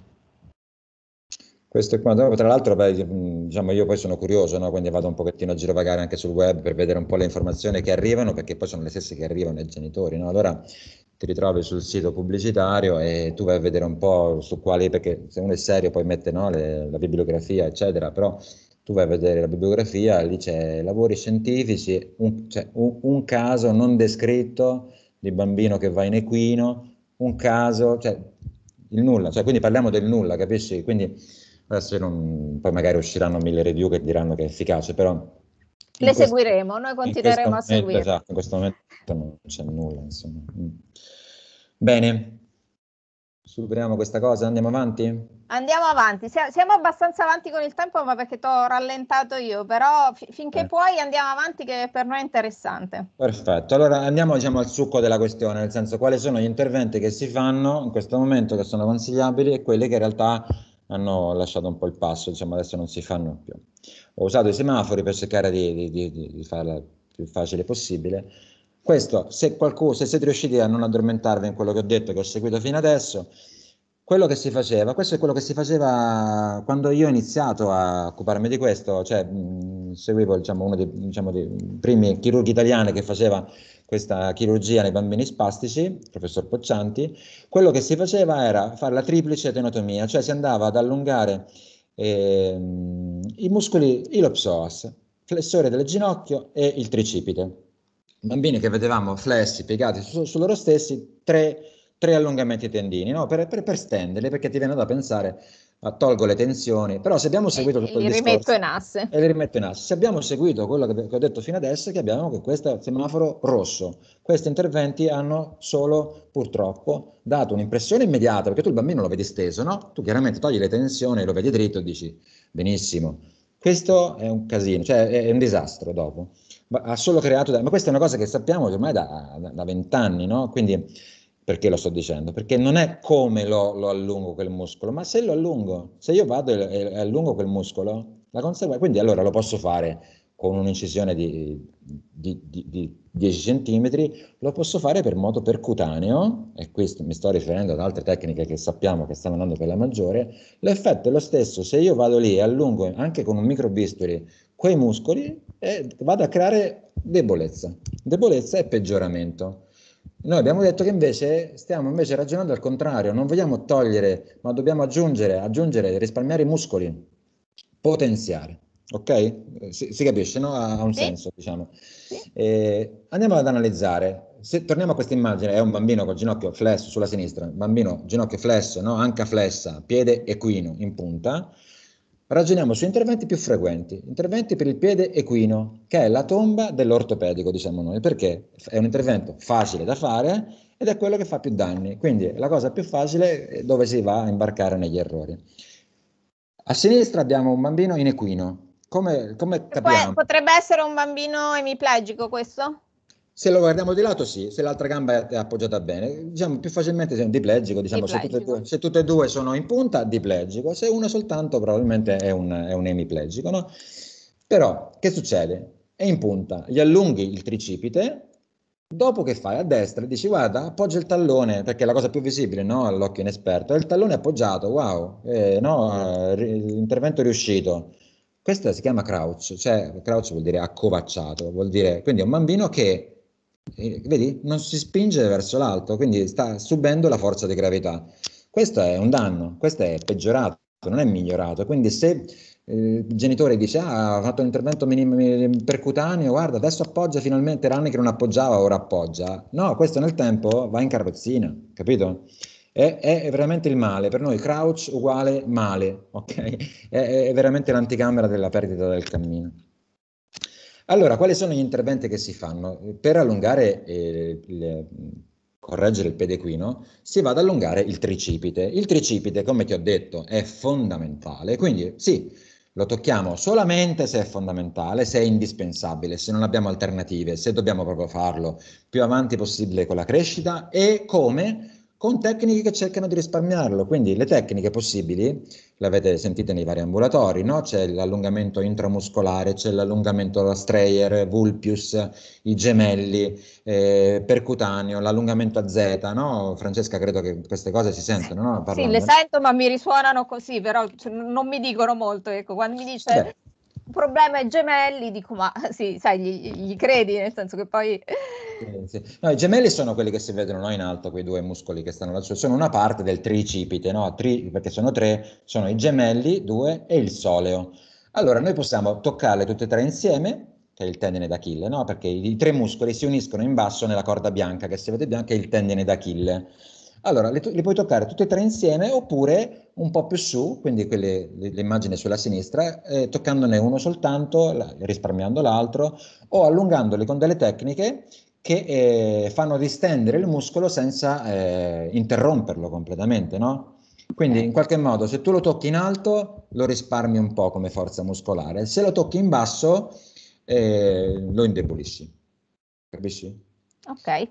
Quindi per questo si è, eh, negli ultimi anni gli allungamenti a Z del tendine d'Achille si cerca di evitarli, cioè gli allungamenti, quelli che sono segnati sulla destra, cioè nella zona 3, sono gli allungamenti fatti qui o per via percutanea con questi microtaglietti o a Z, cioè allungandolo e poi suturandolo, sono interventi che fanno indebolire, che sono molto efficaci perché allungano molto, ma indeboliscono il tricipite. Se fai invece interventi più su, questi e questi, allunghi meno, ma risparmi la forza. Okay?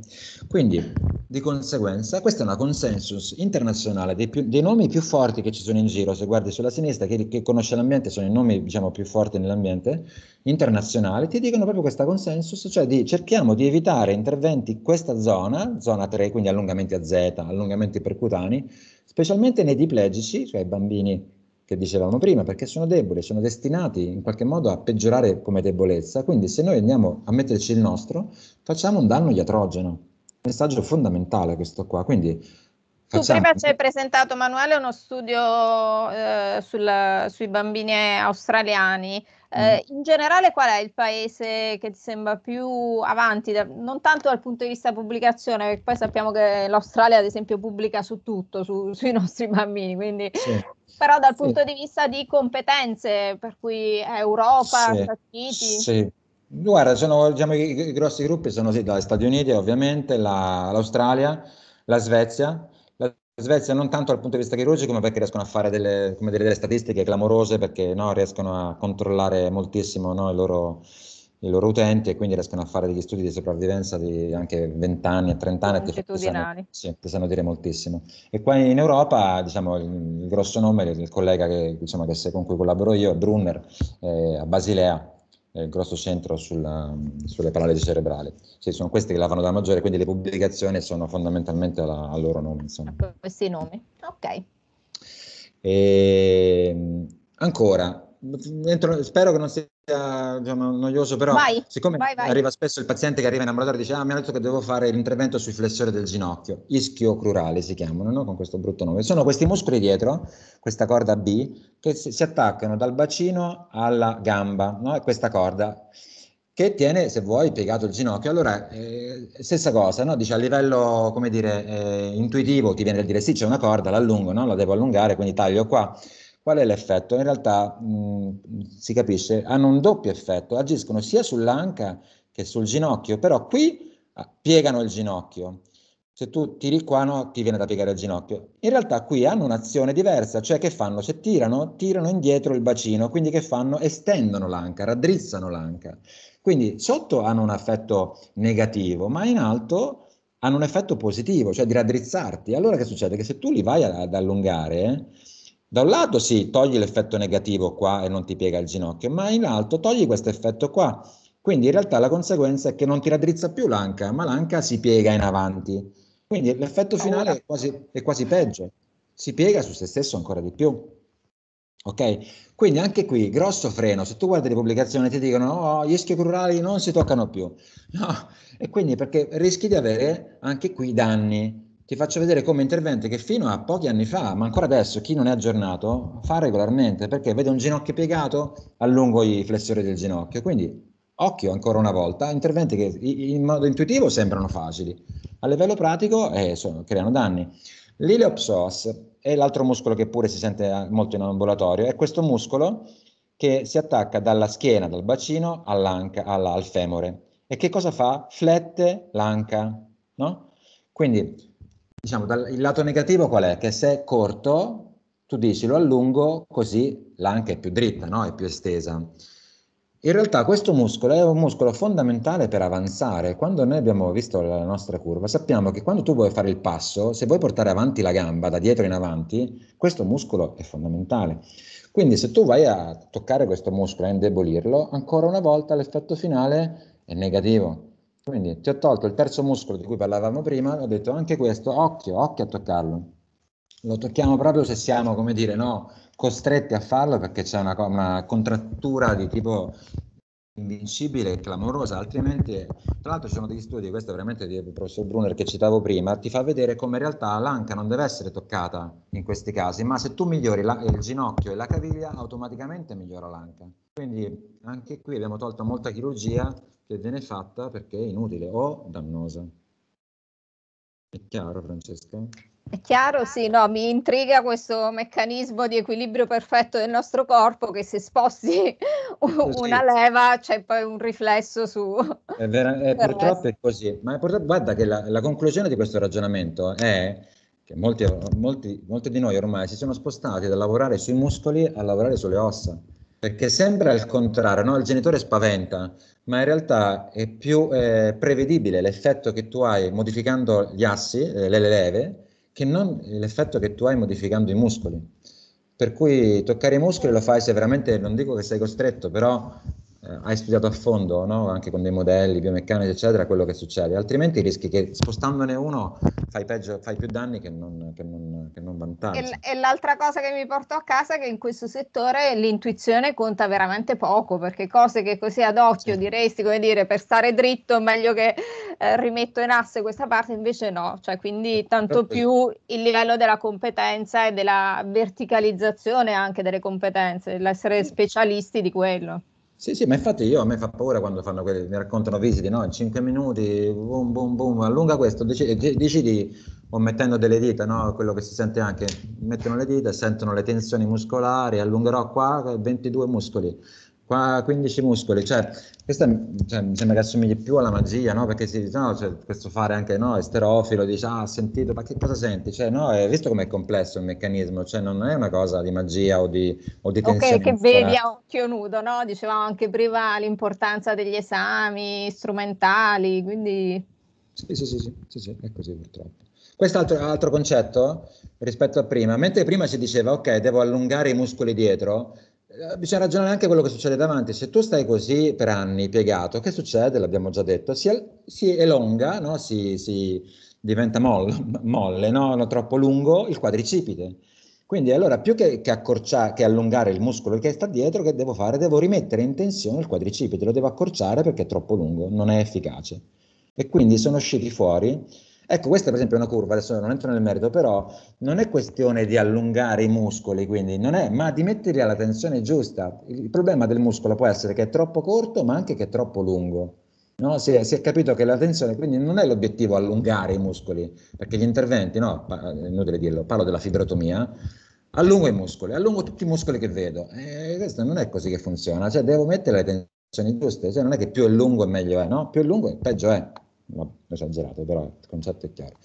Quindi questo è un intervento che si fa molto nei bambini che si flettono, non nei bambini piccolini, ma nei bambini più grandi. Un bambino che è così flesso per anni o che è in crouch, cioè come ho fatto vedere prima, molto accovacciato, quello che si fa è si tensiona, cioè si accorcia il tendine rotuleo. Proprio per accorciare proprio l'apparato estensore, quindi il quadricipite, la rotola, si rimette in tensione. Di solito si associa a un intervento sul femore per raddrizzare il ginocchio in modo che il ginocchio è dritto, il quadricipite è bello teso ed è in grado di gestire bene la forza muscolare che dicevamo prima, no? di, di lavorare con meno fatica possibile perché è dritto.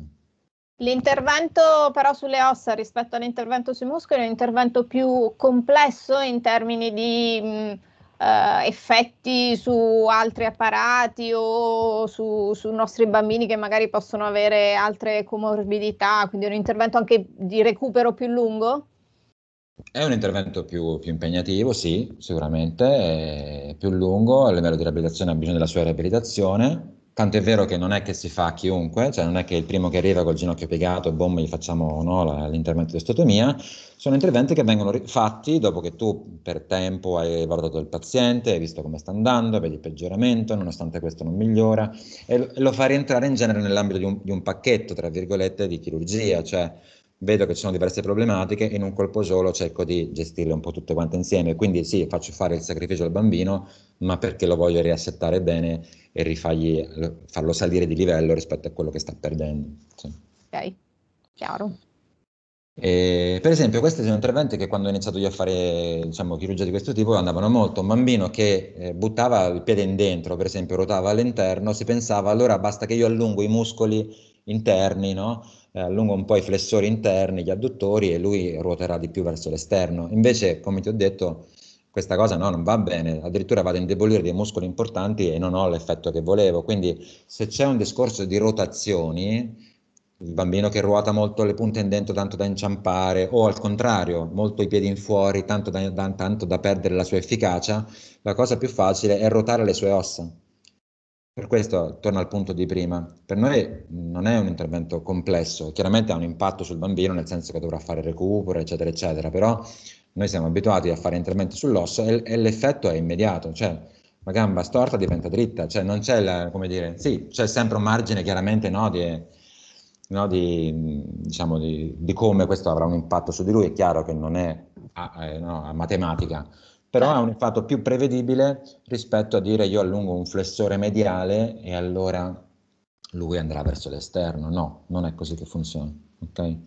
E quindi tu vedi che tutta la, la, la letteratura moderna ortopedica è, è, tutta incentrata sugli interventi di, di osso, di, osteotomie si chiamano, no? di, di rotazione o riorientamento delle ossa. Rispetto al tipo di interventi che tu hai visto mutare nel tempo, sono cambiate anche le tecnologie, cioè oggi ti permette di vedere so, una visualizzazione 3D, vedere l'impatto su quell'intervento di quell'osso, di quel sì, paziente? Sì, se c'è bisogno le facciamo. In realtà credo che la cosa fondamentale in realtà su questi interventi è in realtà sempre la gait analysis, cioè qual è il problema? Che tu fai, vedi un bambino che cammina ad esempio con le punte in dentro, a volte sei convinto di dover fare un intervento per ruotare il femore in fuori eh, dalla visita, eh, poi fai l'analisi del movimento e scopri che in realtà non è il femore che ruota in dentro, ma il bacino che, che, che ruota, che accompagna male. E quindi devi dire no, non devo fare l'intervento. Quindi questo, in questo ci aiuta molto. Quindi la gate analysis rimane un, uh, uno studio fondamentale per voi, cioè se un paziente viene da te con uh, eh, RX delle varie parti del corpo e l'esame di gate analysis già pu- puoi avere una visione un po' più completa. Sì, certo, sì, sì, sì, sì, Specialmente se devi andare a fare un intervento importante in cui devi cambiare il suo assetto, l'analisi del movimento per noi è fondamentale, perché sennò rischi di prendere un po' delle cantonate, questo sì. Anche su questo c'è una diatriba sempre in corso quando vai a fare l'interve- l'intervento, la radiografia richiesta dal L'ortopedico, il neuroradiologo dice: Ma io non capisco come la vuole, ripresa da qua a destra, anche a bacino, piegato, sollevato, c'è un di, di, di tutto poi. Per cui sì. forse anche su questo bisognerebbe mettere anche il radiologo nel, nell'equipe. Sì, noi dobbiamo essere precisi nelle nostre richieste, evitare tutte quelle che sono radiografie non affidabili, quindi è inutile che tu mi fai, non so, una lastra in piedi se uno in piedi praticamente non ci sta eh, questo per esempio, l'altro discorso che affronteremo per un attimo è sull'illustrazione di Anca, no? per esempio nei protocolli di sorveglianza per verificare che il bambino non, non abbia un'anca lussata sappiamo che vanno fatte periodicamente delle radiografie. Se le radiografie le fai in modo inaffidabile, cioè le fai in piedi col bambino che sta storto, non è riproducibile. Quindi sappiamo come devono essere fatte le radiografie, c'è proprio uno schema, l'abbiamo messo anche sul nostro sito, l'immagine da portare al radiologo in modo che il radiologo sa come deve mettere il bambino sdraiato con le gambe un po', le anche un po' flesse, le rotule messe dritte, insomma c'è un posizionamento che... Super, super utile direi nella gestione del paziente eh. perché il paziente può non essere collaborante o avere le scatole piene dopo aver fatto 12 visite, esatto. quindi secondo me interviene.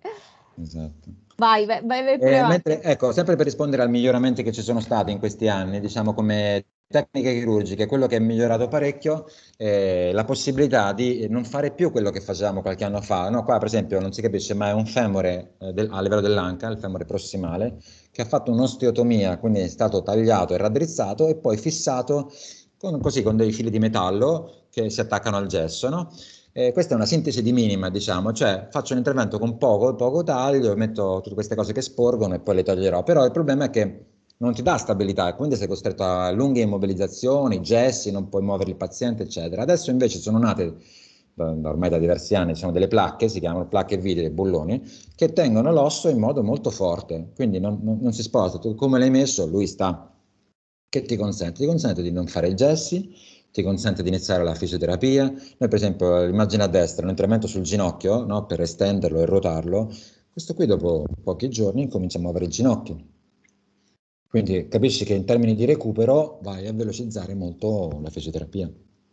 Specialmente se tu fai interventi multilivello, cioè su tante eh, articolazioni insieme, e se tu dovessi immobilizzarlo tutto in gesso, dovresti fare un gesso no? da, dal collo fino ai piedi. Invece sappiamo che deleterio, invece no, prima muovi questi bambini, meglio è. Questa per esempio è veramente la, la chiave di volta, sono gli interventi per il crouch, come hai capito il crouch è la cosa che noi cerchiamo assolutamente di combattere, non bisogna arrendersi in questi casi, abbiamo una finestra breve, ma quando il bambino verso l'età dell'adolescenza incomincia a appesantirsi, a ingrassare, a diventare debole, c'è un alto rischio di, di affaticamento e che il bambino perda la voglia di eh, stare in piedi preferisca mettersi in carrozzina. E lì, non in tutti, ma in chi ha le giuste caratteristiche, è possibile fare degli interventi, ma sono interventi in qualche modo dove dobbiamo agire su tutte le leve di cui ho parlato prima. Per esempio questo ragazzo a sinistra aveva vedi, i piedi sformati, le gambe tutte rotate in fuori, le ginocchia piegate, le rotule alzate, insomma ci sono tanti aspetti che sono stati analizzati, tutti trattati insieme e tutti raddrizzati a parità di forza, lui non era debole, lui non era debole, lui non riusciva a, a, a, come dire, a um, utilizzare la sua forza efficacemente. E quindi la sua forza del quadricipite si disperdeva con i piedi in fuori. Messo il suo scheletro nella eh, potenzialità di agire, nelle condizioni di agire, lui è dritto, capito? Quindi lì lui adesso questa non la perde più perché a fine crescita è contento, no?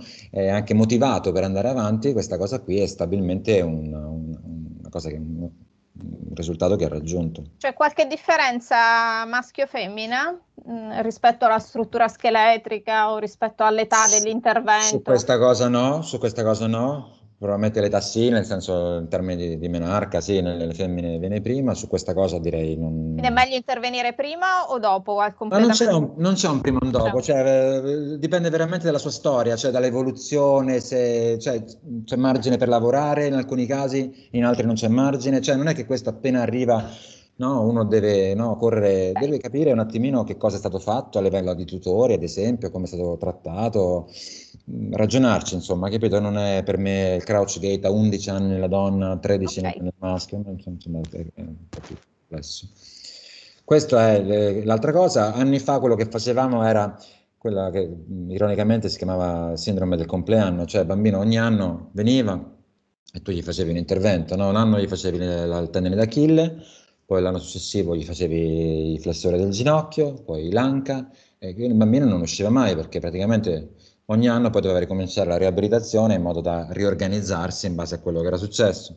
Questo è stato assolutamente bandito e si va, ormai cioè, diciamo, i centri grossi facciamo questa cosa qua, quindi una chirurgia multilivello, quindi a diversi posti nello stesso, nello stesso evento, quindi in un solo intervento si vanno a modificare diverse cose. È un intervento più eh, impegnativo, però molto più efficace e meno, meno impattante in realtà. Per cui mi viene da dire anche l'importanza di fare questi interventi in centri clinici riconosciuti, in cui ci siano tutti i reparti, tutto, quindi forse delle cliniche private che si occupano solo di questo, eh, magari possono sì, non essere attrezza, la scelta giusta. Attrezzate, cioè in realtà per esempio noi, noi per esempio lavoriamo in un privato convenzionato, però abbiamo la riabilitazione, abbiamo la, la rianimazione, eccetera. E poi la cosa fondamentale non è tanto diciamo dove viene fatto l'intervento, secondo me, ma è, è il post.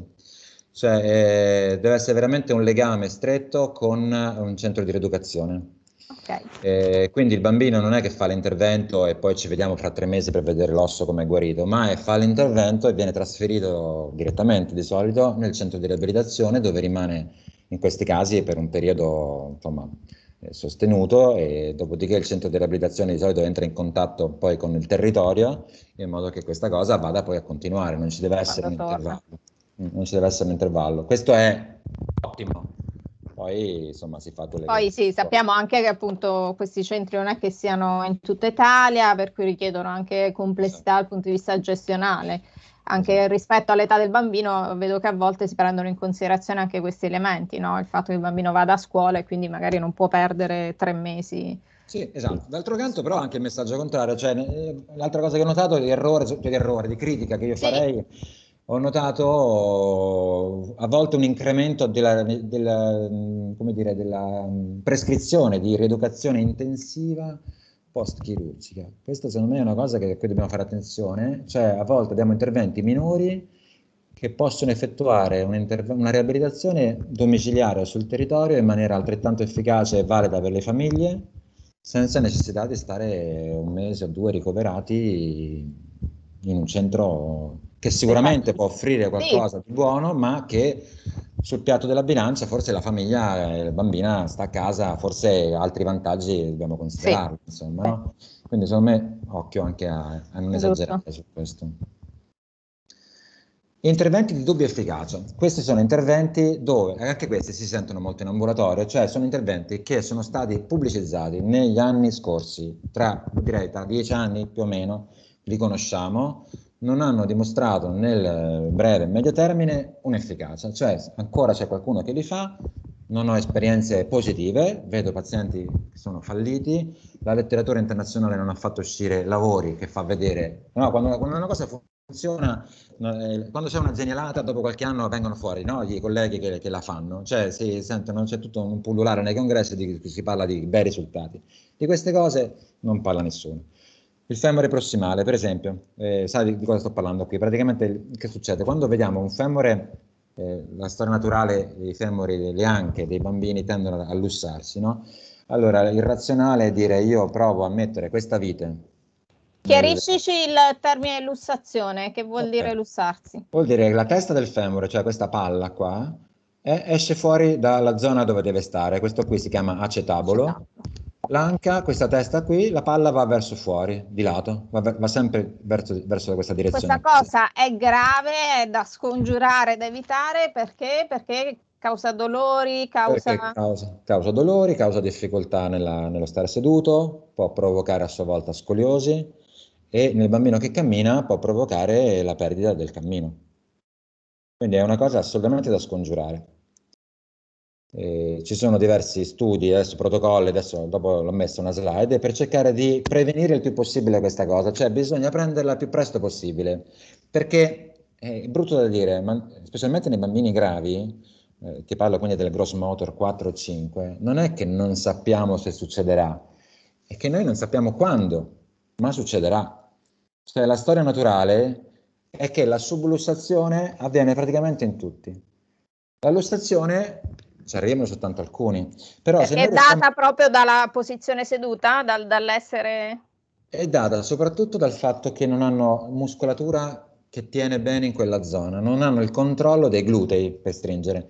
I, i muscoli che normalmente eh, controllano quell'articolazione e fanno sì che il femore stia al posto giusto, in questi bambini no, non, non, funzionano, sono alterati, sono sbilanciati, funzionano di più eh, alcuni che altri. E quindi tutte queste forze muscolari e l'altro aspetto è il fatto che loro non caricano, non camminano al momento giusto e il carico serve per modellare un po' questa zona. Tutte queste cose, e il terzo elemento è la spasticità, però la spasticità ha perso un po' di importanza, però è anche lei un ruolo, cioè praticamente tutte queste forze sbilanciate portano il femore a peggiorare e a lussarsi. Allora, noi sappiamo quindi come prevenire queste, questa tecnica che cosa ha fatto? Hanno pensato di dire io metto una vite nel femore prima che lui si lussi, perché questo è un femore che è in buona posizione, no? non è lussato, è ancora, diciamo, se tu vai a tracciare una linea dallo spigolo, si vede il mio cursore? Si vede la mia... Sì, sì, sì. Ok, se traccio una linea che, che scende da questo spigolo qui, vedo che la palla, questa qui, è direi un 60% dentro, forse anche di più, e una parte fuori, no? Scoperta. Ok, allora se aumenta eh, peggiora. Allora mettendo, questa qua si chiama epifisiodesi, cioè mettendo questa vite, l'idea è eh, blocco la crescita di questa zona, della cartilagine di crescita, continua a crescere questa zona e magari col tempo va a migliorare e a rientrare il femore eh, con la crescita. Però si è visto che in realtà questa cosa non succede, anche se c'è un razionale che gli ortopedici possono comprendere, in realtà poi nel tempo spesso le vite diventano corte, vedi, dovrebbe superare questa linea, non la supera più, cioè cresce di più il suo femore che non la vite, per esempio. Questo è un bambino che ho visto recentemente. Cioè, mh, mm, adesso magari è difficile da comprendere per chi non capisce ortopedia, però eh, non, c'è ancora qualcuno che la fa, ma non, non, non funziona. L'altra cosa, epifisiodesi che vuol dire? Cioè praticamente vuol dire noi agiamo siamo ortopedici pediatrici, andiamo ad agire sulle cartilagini di crescita dei bambini. Le ossa, tutte le ossa, crescono a livello di queste linee che si vedono qua, queste linee qua. Questa è una cartilagine di crescita, questa è una cartilagine di crescita, questa anche. Sono eh, quelle che, dove l'osso si forma, la cartilagine fa, diventa poi osso e l'osso si allunga.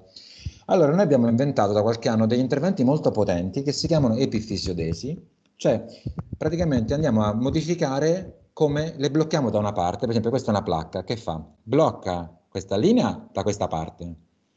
La cartilagine continua a crescere da quest'altra parte. Mi spiego Francesca? Sì, sì, sì. E col tempo che succede? Vedi? Si è piegato in avanti il femore. Quindi da che era piegato, era flesso il ginocchio, questo è un ginocchio visto di lato, con la crescita le viti si allargano, la placchetta blocca davanti, dietro continua a crescere la cartilagine e il ginocchio si estende. Ok, quindi questo è, è lo stesso razionale della vita emessa prima, funziona diversamente ma è lo stesso concetto. Blocchi Beh, il parte... materiale è anche diverso, no? Sì, esatto. Sì, ma soprattutto questa è una placca, quella è una singola vite, perché lì non puoi mettere una placca, perché è talmente profonda che non ci arrivi a metterci una placca. Ma noi siamo in grado oggi di prevedere qual è l'allungamento di un osso? Cioè, guardando un bambino a tre anni, sai dire fino a quanto crescerà? Cioè, ci sono degli esami che ci dicono questo e quindi sì, ci aiutano questo, nella... Sì, questo sì, questo sì, questo sì, questo, questo aiuta. Cioè, abbiamo, siamo in grado di prevedere tante cose, abbiamo le curve di crescita, abbiamo dei, si chiamano fattori di moltiplicazione, cioè anche dei software che ti dicono un po' le, le, le curve di sviluppo. Eh? Questo, questo, esiste, cioè noi, queste sono tecniche che noi usiamo regolarmente, per esempio in un bambino normale, scusa, non, non, non, non senza disabilità, usiamo il, il, linguaggio questa, questa la cancelliamo. Con e senza disabilità, no, no, va benissimo. Eh, senza disabilità, in un bambino eh, diciamo che ha semplicemente le gambe storte, eh, pane al pane, diciamo ginocchio valgo, no? ginocchio a X grave, che tu vuoi raddrizzare, noi usiamo queste tecniche qua bambino in crescita, noi andiamo a mettere queste placchette da una parte delle sue cartilagini, quindi nella parte interna, e il ginocchio a X col passare dei mesi diventa dritto. Sono interventi super questi qua, cioè funzionano molto bene e raddrizzano le gambe, o se sono storte da una parte o storte dall'altra. Quindi funzionano molto bene. Però non funzionano nella paralisi cerebrale, non funzionano per raddrizzare un ginocchio piegato. Quindi a livello diciamo, intuitivo abbiamo pensato negli anni scorsi di eh, adattare questo intervento che usavamo per altre cose anche nella paralisi cerebrale, ma i risultati sono molto scadenti. Cioè ogni tanto qualcuno, come dire, va in porto, ma la maggior parte dei casi vai a creare un'alterazione dell'anatomia locale o vai a creare problematiche sul, sulla rotula, cioè non ottieni il tuo risultato. Questo voglio andare a stringere, questo, capito? Ok, chiaro. Quindi, siccome ancora c'è qualcuno in Italia che, che li propone, io um, metto veramente un, un, semaforo arancione, l'ho messo qui, più, più, più che giallo.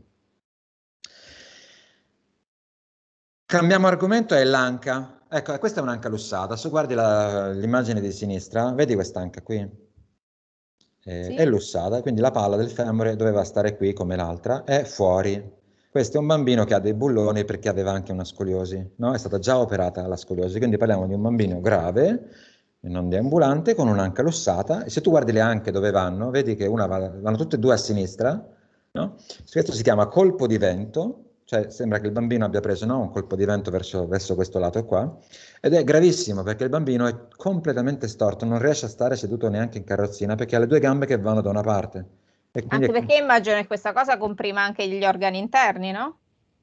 Eh, organi interni no, no, perché parliamo veramente dell'anca, però comprime, sì, comprime il gluteo, eh, può dare dei cubiti qui dove è seduto, perché lui sta seduto storto e quindi va a creare delle piaghe da decubito lì sulla diciamo, parte della natica di, di, di, questo lato affetto e quindi non riescono a stare seduto. Quindi è importante, no? delle volte uno pensa che la lussazione di anca sia un problema così tanto di una radiografia, però no, sono disab- è, è, qualità di vita. Sì, esatto, sono disabilitanti, cioè sia la scoliosi che, eh, che il discorso dell'anca può essere disabilitante. Allora, che cosa si è visto? Un tempo che facevamo, quando non sapevamo che fare, dicevamo che quest'anca era inoperabile e allora che si faceva? No? Non sapendo che fare, si tagliava, si faceva la resezione, cioè si taglia questo pezzo, tutta la parte alta del femore, e si porta via. Eccolo qua, vedi? Manca un pezzo per evitare che praticamente questa testa vada a sbattere sul bacino, perché sbattendo può far male, ok? Sbatte, fa male e ti impedisce alla gamba di aprirsi. Allora si fa la resezione, vedi che manca tutto il pezzo iniziale? Sì questo bianco che tu vedi è semplicemente dell'osso che si è creato, un'ossificazione, ma non c'è nulla, diciamo.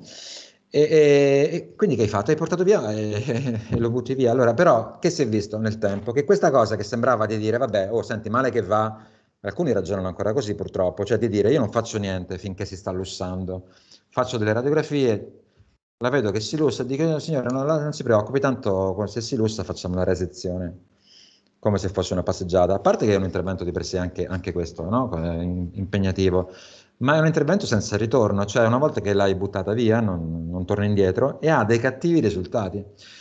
Abbiamo dei bambini che nonostante abbiano fatto questa cosa hanno ancora male. Perché? Perché si creano queste ossificazioni, perché l'anca è ballante, diciamo noi, cioè non sta più non ha più un controllo, non essendoci un perno, un'articolazione nella quale può ruotare, eh, non c'è è più fissa. stabilità. Esatto, e quindi il bambino può avere male. Dopo non sai più che cosa fare, cioè non hai più eh, alternative. Allora, anche qui abbiamo capito negli ultimi anni, sono ormai diversi lavori, eh, che tutte queste situazioni che noi abbiamo operato, ad esempio, sono tutte situazioni nelle quali l'anca era lussata gravemente. No, a questo punto penso che si capisca. Sono tutte situazioni nelle quali era stato detto basta, resezione, e sono tutte, tutti interventi nei quali invece, invece abbiamo fatto un intervento più grosso, ma in cui abbiamo ricostruito l'anca, cioè l'anca si cerca di ridargli una sua dignità, ok? Cioè di rimetterla in posizione in modo che sia ancora il fulcro di movimento, non di movimento, no? Di, di tipo chiaramente funzionale, no? qua stiamo parlando di bambini gravi, però il concetto è questo, non facciamo resezioni come soluzione al problema, facciamola se proprio proprio non riusciamo ad avere una soluzione alternativa, deve essere l'ultima spiaggia, altrimenti cerchiamo di ricostruire sempre. Capito? Questi sono lavori okay. che vengono da Basilea, ormai c'è la letteratura internazionale, se tu vai nei congressi si parla solamente di questo, non c'è più nessuno che porti resezione di femore prossimale a meno che non hai veramente il bambino che non, non ha alternative, ok? Per esempio, questo caso che ha fatto una resezione adesso verrebbe ricostruito, punto, capito? La sorveglianza d'anca. Le resezioni e le ricostruzioni di cui ho parlato non dovrebbero nemmeno esistere, cioè bisognerebbe trattare i bambini prima, cioè che come si fa? Tutti i bambini, e questo è un messaggio che a volte i bambini non hanno, mi è capitato veramente la settimana scorsa, una famiglia che ha detto no, io non ho mai fatto un controllo per le anche, questo per me è grave perché i bambini ormai sono seguiti tutti in centri no, di riabilitazione, neuropsichiatria, eccetera, e, e, come ci sono i controlli, non so, no, per la vista, per la respirazione, eccetera, deve essere previsto, perché ormai si sa, un controllo delle, della lussazione delle anche. Diciamolo questo Manuele, perché i nostri bambini di solito appunto sono mediamente ben seguiti, seguono dei follow up, soprattutto se il problema è stato evidenziato alla nascita o se sono prematuri, quindi seguono de- delle visite periodiche di controllo. Esatto. Un, esatto. un, una visita periodica che fanno sicuramente, un appuntamento è quello ogni sei mesi, un anno con l'elettroencefalogramma oppure ogni tot anni a ripetizione della risonanza magnetica. Dal punto di vista ortopedico, che cosa va fatto?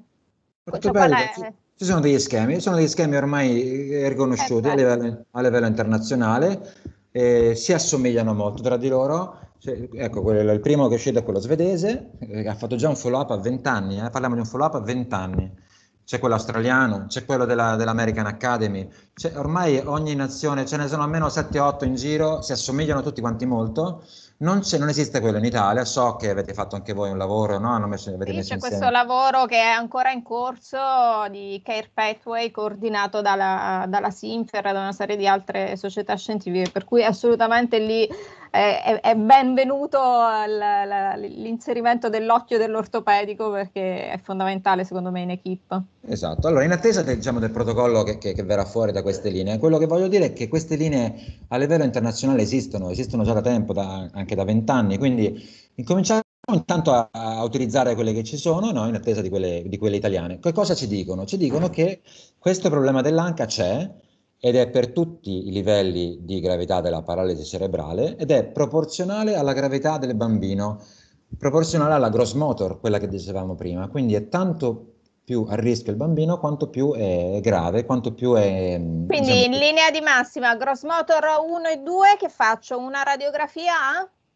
Allora, tutti qua, allora, la Gross Motor 1 praticamente non ha bisogno di radiografie, quindi è un bambino molto autonomo che, che si muove spontaneamente senza, senza, ausili, praticamente non ha questo rischio. Ok? A meno che la, la, clinica, quindi dalle visite, questa cosa non venga fuori che c'è qualche elemento di sospetto, altrimenti non c'è un rischio. si vede male la slide, questo qui è tratto dal nostro sito, però qua si vede la Gross Motor 2 è questa qua, si vede? Sì. sì. La gross motor 3, 4 e 5 sono queste qua. Allora, tutti quanti devono fare una radiografia a due anni, a due anni, 24 mesi o appena è stata fatta diagnosi di paralisi cerebrale. Quindi vuol dire precocemente, perché? Perché sappiamo che c'è già un rischio precoce. A volte si ritrovano già bambini di due anni, due anni e mezzo, tre, quadri che non ci piacciono. Quindi se tu fai una lastra, una lastra questi qui dopo qualche anno, è già troppo tardi. Quindi prima lastra precoce, e poi ci sono delle lastre da fare più o meno, vedi, in proporzione a quella che è la loro gravità. Certo. Qui ti dice dopo un anno, un anno e mezzo, qua ti dice dopo un anno. E poi, in base a quello che tu vedi, se la situazione è stabile, allora puoi diradare un pochettino. Se vedi che c'è già un peggioramento, invece aumenti la frequenza. E il concetto è che, guarda, se tu guardi, se tu guardi un bambino di una, di una Gross Motor 5, vengono consigliate lastre una volta all'anno a 4, a 5, a 6, a 7, a 8 anni. È tanta roba, no? Praticamente non lo fa nessuno, praticamente, ok? mentre in un bambino deambulante, una gross motor 2, ti puoi consentire di fare una lastra all'inizio, una lastra a 6 anni e una vicino a, alla fine della crescita, capisci? Quindi okay. dosiamo il numero di radiografie, il concetto è ho paura a fare radiografie, no? E le radiografie fanno male, sono no, le, classiche, le classiche cose che si dicono. È chiaro che sono tutti studi che sono stati fatti di rischio-beneficio eh, per i quali vale meglio una radiografia per evitare una problematica che non eh, quelle che possono essere cinque radiografie. No? Poi se, se ci pensi se tu mettila in proporzione a una TAC, per esempio, cioè non è nulla in realtà, eh? 5 radiografie nell'arco di una crescita, per escludere una problematica che è concreta, perché la Devo dire che da questo punto di vista non mi sembra mai, mai aver sentito, o forse perché c'è poca sorveglianza ancora, però eh, non ho questa percezione di dire non faccio l'esame perché non è utile, anzi, cioè, in, in questo caso secondo me si, si, ravvede anche dal punto di vista delle famiglie la, la necessità. Buono anche che tu abbia lasciato il, il, link così poi chi è interessato magari approfondisce anche sul... Sì. Sul qui sulla, qui sulla, destra ho messo, perché questo secondo me è fondamentale, lo dicevamo prima, cioè come deve essere messo il paziente eh, sì. diciamo sempre di portarlo, di portarlo, al centro di radiologia, il paziente deve essere messo così, perché se fai una lastra non la fai così e dopo non capisci niente, quindi giudichi male la radiografia. Quindi... E giudichi male anche il genitore. mi sono sentita dietro una serie di improperi perché non sapevo come andava messo questo bambino, ma magari non ero io quella deputata a saperlo. Esatto, ecco. esatto sì, sì. E quindi ecco, ancora il concetto è questo che volevo aggiungere, non è che perché fai la radiografia e trovi il problema allora devi operare, no? Perché c'è la paura di dire allora no, ho fatto una lastra, Dio l'ortopedico ora mi opera, no. Quella radiografia poi va giudicata, allora va giudicata poi nella sua evoluzione. Quello che adesso va bene, magari vedo, non so, una percentuale di illustrazione del 30%, dico vabbè, vediamo un po' come va avanti, continuerò a fare la sua terapia, eccetera, la rifaccio e magari è stabile, non devo fare più niente, oppure va al 40%, posso fare ancora qualcosa cioè non è che, però l'importante è che è una decisione medica che prendo. Non mi tappo gli occhi e dico... E forse una... una resezione quando sarà. Io prendo delle decisioni... Dimmi, dimmi. E, e, forse dico una decisione anche che è più facile vedere in trend, quindi se segui un paziente per un periodo anche molto lungo, quindi hai dei, dei controlli periodici che ti permettono di, di valutare quando e se intervenire. Certo, è così, ma come dire, è una decisione medica. Io vedo, purtroppo, eh, vedo anche seguiti da centri importanti che fanno la radiografia e mi portano il plico di radiografia dove si vede un'anca lussarsi progressivamente e dove non viene mai presa una decisione. E cosa c'è dietro? Non lo so, è la paura dell'ortopedico, non, cioè, non vedo altre spiegazioni perché si pensa che l'ortopedico possa solo far peggio di così. Poi ti ritrovi con anche disastrate, che, oppure c'è anche l'idea che, che, le anche poi non facciano male, eh? c'è anche questa cosa è vero, è vero questo? Volta, cioè può essere... Qualche volta può essere che in qualche adulto, eh, anche grave, eh, qualche anca non fa male, ci sta. Magari il, il, malessere si manifesta eh, in altro modo, no? Penso l'adulto che magari non riesce ad esprimere la sensazione di dolore, probabilmente esatto. lo vedi riflesso su altre routine. Sì, sì, sì. C'è, anche, c'è anche questo aspetto. È complessa, non, non, non dico questo, però quando vanno a fare degli studi e vanno a vedere la qualità di vita dei bambini in cui nessuno ha fatto della chirurgia ortopedica e rispetto a bambini nei quali invece si è stati dietro la problematica, che vuol dire ti parlo di un bambino grave, dove le problematiche sono scoliosi e lussazione d'anca, e li vanno a confrontare e è superiore la qualità di vita, quindi non ti parlo di radiografia, ti parlo di qualità di vita di un bambino che ha la schiena corretta e le anche in sede rispetto a un bambino lasciato andare a se stesso con una schiena distrutta e le anche lussate. Quindi credo che sia un, un messaggio importante questo. Sì, sì. Ti chiedo un'ultima cosa, Manuele, mentre andiamo sì. avanti. Eh, ci sono delle problematiche neurologiche che a volte eh, rendono magari eh, l'evidenza del quadro un po' più complicata. Penso alla distonia, penso alle forme atassiche, cioè esiste qualcosa che, qualche raccomandazione specifica su questi quadri qua rispetto a tutto quello di cui abbiamo parlato, eh? quindi questi tipi di interventi? Sì, alcune cose rimangono le stesse, eh, sono pazienti, a parte che sono vabbè, meno, meno, meno, meno comuni, diciamo, frequenti, diciamo, sì. meno frequenti, però ehm, vanno comunque considerati gli stessi aspetti per, mol, per, molti, per molte cose. Bisogna chiaramente mh, conoscere le differenze, no? Per esempio, eh, il bambino atassico difficilmente ti fa una lussazione d'anca, per esempio, lo sappiamo, è veramente il rischio è bassissimissimo. Il distonico invece ha molte, molte similitudini. Allora, cos'è? Cioè, molti di noi hanno nell'orecchio questa cosa che il distonico non va toccato eh, perché può, si creano solo danni. Eh, anche qui, eh, col tempo, l'esperienza e ci sono delle review recenti proprio su questo argomento, si vede che se si, se si usano gli stessi concetti di risparmio muscolare, di leve, di controllo delle anche, eccetera, si ottengono buoni risultati. Certo, non sono gli stessi risultati che nella, nella paralisi spastica pura, è chiaro che la situazione è più complessa, quello che bisogna imparare, per esempio, è fare attenzione a toccare i muscoli, perché nel distonico tu eh, spesso non sai come, come reagisce la situazione. Quindi in questo sicuramente l'inesperienza è pericolosa, cioè andare a toccare una situazione tu rischi poi di in, in, instaurare dei meccanismi peggiori rispetto a quella che era la deformità iniziale. Questo sì, però sì. Chiaro, chiaro anche questo. Mm. Uh, dimmi tu Manuele se c'è qualche altro punto che vuoi toccare, se no io ti faccio una domanda finale anche perché ti ho lasciato credo senza, senza fiato, senza voce, ti ho fatto parlare per, per due ore, vai, vai, no, vai pure.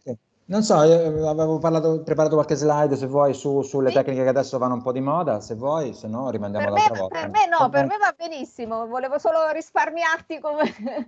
Ah no, ancora, ancora c'è tempo, ancora ci sono. Due parole sulla fibrotomia, perché adesso purtroppo non c'è, eh, questo è realistico, non c'è famiglia che non, che non ne parli e, e, spesso, come dire, te lo dicono anche a fine visita o dopo, insomma, quindi la fibrotomia è un argomento che è all'ordine del giorno. E ce ne sono diverse tecniche, diversi cugini, diciamo, di, di procedure perché eh, viene chiamata la stessa tecnica molto simile tra di loro, con, con nomi diversi. In Italia si sente molto parlare della fibrotomia graduale, Ulcibat. Sì. La, questo per esempio a Barcellona Nazarov fa la mioteno-fasciotomia. In America invece si parla di SPML, ma dottor Nuzzo. E, e, poi ci sono altri colleghi che fanno anzi tecniche percutanee, però allora il calderone è lo stesso. Chiaramente quando tu parli con uno ti dirà no, no, no, no, io faccio quell'altra, cioè mh, mi rendo conto che c'è anche questa e, cosa. E sono tipo brevettate queste tecniche, cioè ognuno ha dato il nome ma perché usa un bisturi particolare. C'è, usa... c'è anche questo, la verità è che ognuno dice ma non dice, cioè il problema principale è che, torno al, al discorso di prima, cioè in medicina non si fa così, nel senso se tu hai una tecnica valida, la esporti, la pubblichi, la condividi, la condividi dimostri i risultati, li pubblichi a distanza. Ecco, questo, eh, questa è una cosa che purtroppo queste tecniche condividono, cioè anche in America il movimento è la stessa cosa, pure negli Stati Uniti, il professor Nuzzo, non so come si pronunci, però sono tutti molto autoreferenziali, cioè tutto è basato su risultati eh, dichiarati, basato su, così, su siti non ci sono lavori scientifici.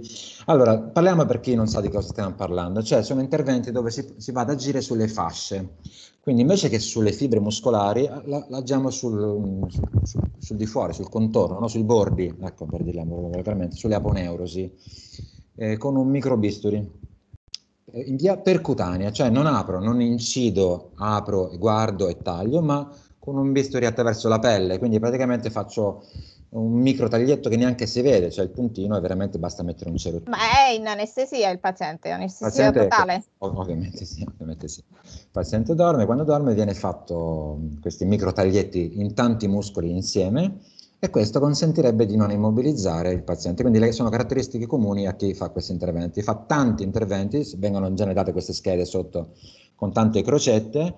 Ogni e c'è anche questo senso di sequenza dall'alto al basso? C'è senso questa cosa di graduazione? No, no, no, loro va- valutano il paziente, fanno una visita ambulatoriale, lo rivalutano una volta che dorme e fanno tanti micro taglietti su dove reputano che sia giusto farli.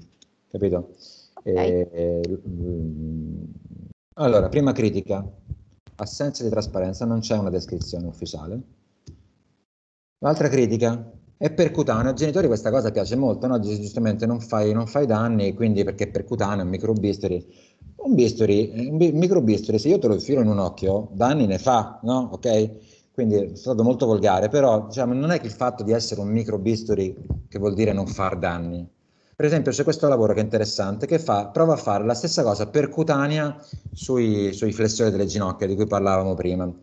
Prova percutaneo, un esperto con 20 anni di chirurgia alle spalle, la fa percutanea per cercare di fare solamente la fascia E dopodiché arriva il secondo chirurgo, apre e va a vedere che cosa è stato fatto e trova che praticamente nella maggior parte dei casi in realtà non ha tagliato la fascia, ma ha tagliato il muscolo. Perché il limite della, eh, di dove fermarsi è veramente minimo, cioè, e non c'è esperienza che tenga. Quindi quando tu senti la tensione, no? perché uno dice palpi la tensione, dico taglio e tolgo la tensione. Ma quella tensione è il muscolo magari, no? Quindi eh, è un attimo che tu hai creato il danno, perché come abbiamo visto prima, se tagli il muscolo, il danno l'hai fatto, capisci? Quindi non è che se lo fai percutaneo eh, fai me- meno danni. Il danno è lo stesso, solamente che non l'hai visto perché l'hai fatto attraverso un microbuco, ma il danno c'è. Il fatto di farne tanti insieme sui siti leggi fino a 22, ma cos'è importante? Che ne fai tanti o che li fai bene? Velocizzo il recupero. Ok, importante velocizzare il recupero, ma se facciamo le cose giuste, non perché io do- il giorno dopo ti metto in piedi, allora questo è superiore. Ok, cioè sono tutti punti che il genitore che cerca giustamente una risposta e giustamente si fa attirare, perché anch'io mi farei attirare no? con, questa immagine del facile, percutaneo, eccetera. Però ragioniamo su ogni singolo punto di questa pubblicità. C'è del buono in questa cosa. Le indicazioni, ma palpare con un dito durante la visita, no, eh, però lui ha l'esperienza, lo sa fare, ha il bisturi buono, brevettato sono tutte cose che nascondono, secondo me, molto fumo, ma questa, questa è una mia percezione, ma non è solo la mia, perché io mi, mi confrontavo con il mio collega proprio due giorni fa a Basilea, uguale, stessa percezione, perché poi questa è una cosa che sotto traccia lavora un po' dappertutto questa cosa. Anche qua, perché que- questo metodo uh, di affabulare le famiglie o comunque le persone in una situazione di vulnerabilità è un, segue un pattern molto comune anche su diverse cose, quindi sono sempre molto vago, ti prometto miracoli a lungo termine, ti premetto, permetto di valutare un'efficacia a breve termine, ti parlo di qualcosa che fa bene dal mal di testa alla cellulite. Esatto, esatto anche Quindi questo, questi sì. qui sono elementi che secondo me eh, oggi un, un, paziente esperto dovrebbe imparare a riconoscere anche nel, nella lettura da, da, profano ovviamente di quello che però sono le, le, le pagine pubblicitarie di un sito. Sì, le dinamiche sono le stesse, le dinamiche sono sempre le stesse, sì, sono proprio grandi promesse per esempio, classico, il bambino, abbiamo studiato ormai, ormai capiamo anche noi questa cosa. Tu vai lì e vengono allungate per via percutanea con questi microtaglietti contemporaneamente gli ischio-crurali, il tricipite e il quadricipite. È un classico, no? Questi 22 taglietti eh, prendono sicuramente questi muscoli. Ormai cioè, penso che chi ha seguito un po' la lezione mi sa dire da solo che, che non ha un senso, no? L'ho, l'ho imparato anch'io. Esatto, meno male, allora qualcosa è servito. non è un razionale, cioè non è che ve lo faccio poi vedi il bambino che appoggia, le famiglie dicono non aveva mai appoggiato, miracolo, ma è meglio o peggio? Abbiamo capito che è peggio, no?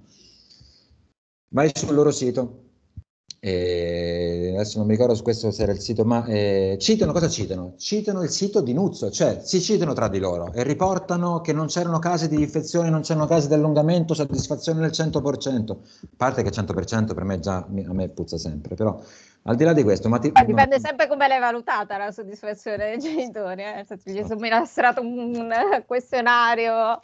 Sì, ma poi e visto che sorridevano. No, c'è sempre questo bias, cioè se tu fai un investimento importante dal punto di vista emotivo, dal punto di vista economico a volte, no? Anche. Sì eh, che spesso sono a pagamento queste cose. E fai questo investimento e dopo in qualche modo cerchi di vederci no, del buono sempre in questa cosa, no? purtroppo spesso funziona così. Sì, sì, sempre... è un meccanismo opportunistico di, di, di risparmio al dolore, quindi anche questo è abbastanza comune. Letteratura, vai a cercare la letteratura, ci sono delle belle review che hanno cercato e non trovi, non trovi, non trovi, non trovi niente, anzi riporti in indebolimento, ipercorrezione, che è quello che vediamo quotidianamente, che è relativo a quello che abbiamo detto prima, cioè trovi i bambini più deboli, parlando con colleghi che hanno visto fisioterapisti, eccetera, trovi molti bambini che eh, vengono visti più rilassati dopo il post-operatorio e velocemente di nuovo rigidi un'altra volta, no? quindi velocemente che si rigidisce un'altra volta la situazione. Però anche qui loro ti dicono, beh, possiamo ripeterlo, questo intervento, no, cioè esatto, certo. programmano eh, interventi rec- recurring. C'è un sen- non c'è un senso in questa cosa, cioè del, del rifare. Sappiamo che rifare vuol dire debolezza, quindi vai ad aggiungere fibrosi. E... Dal punto di vista commerciale ha molto senso questa cosa.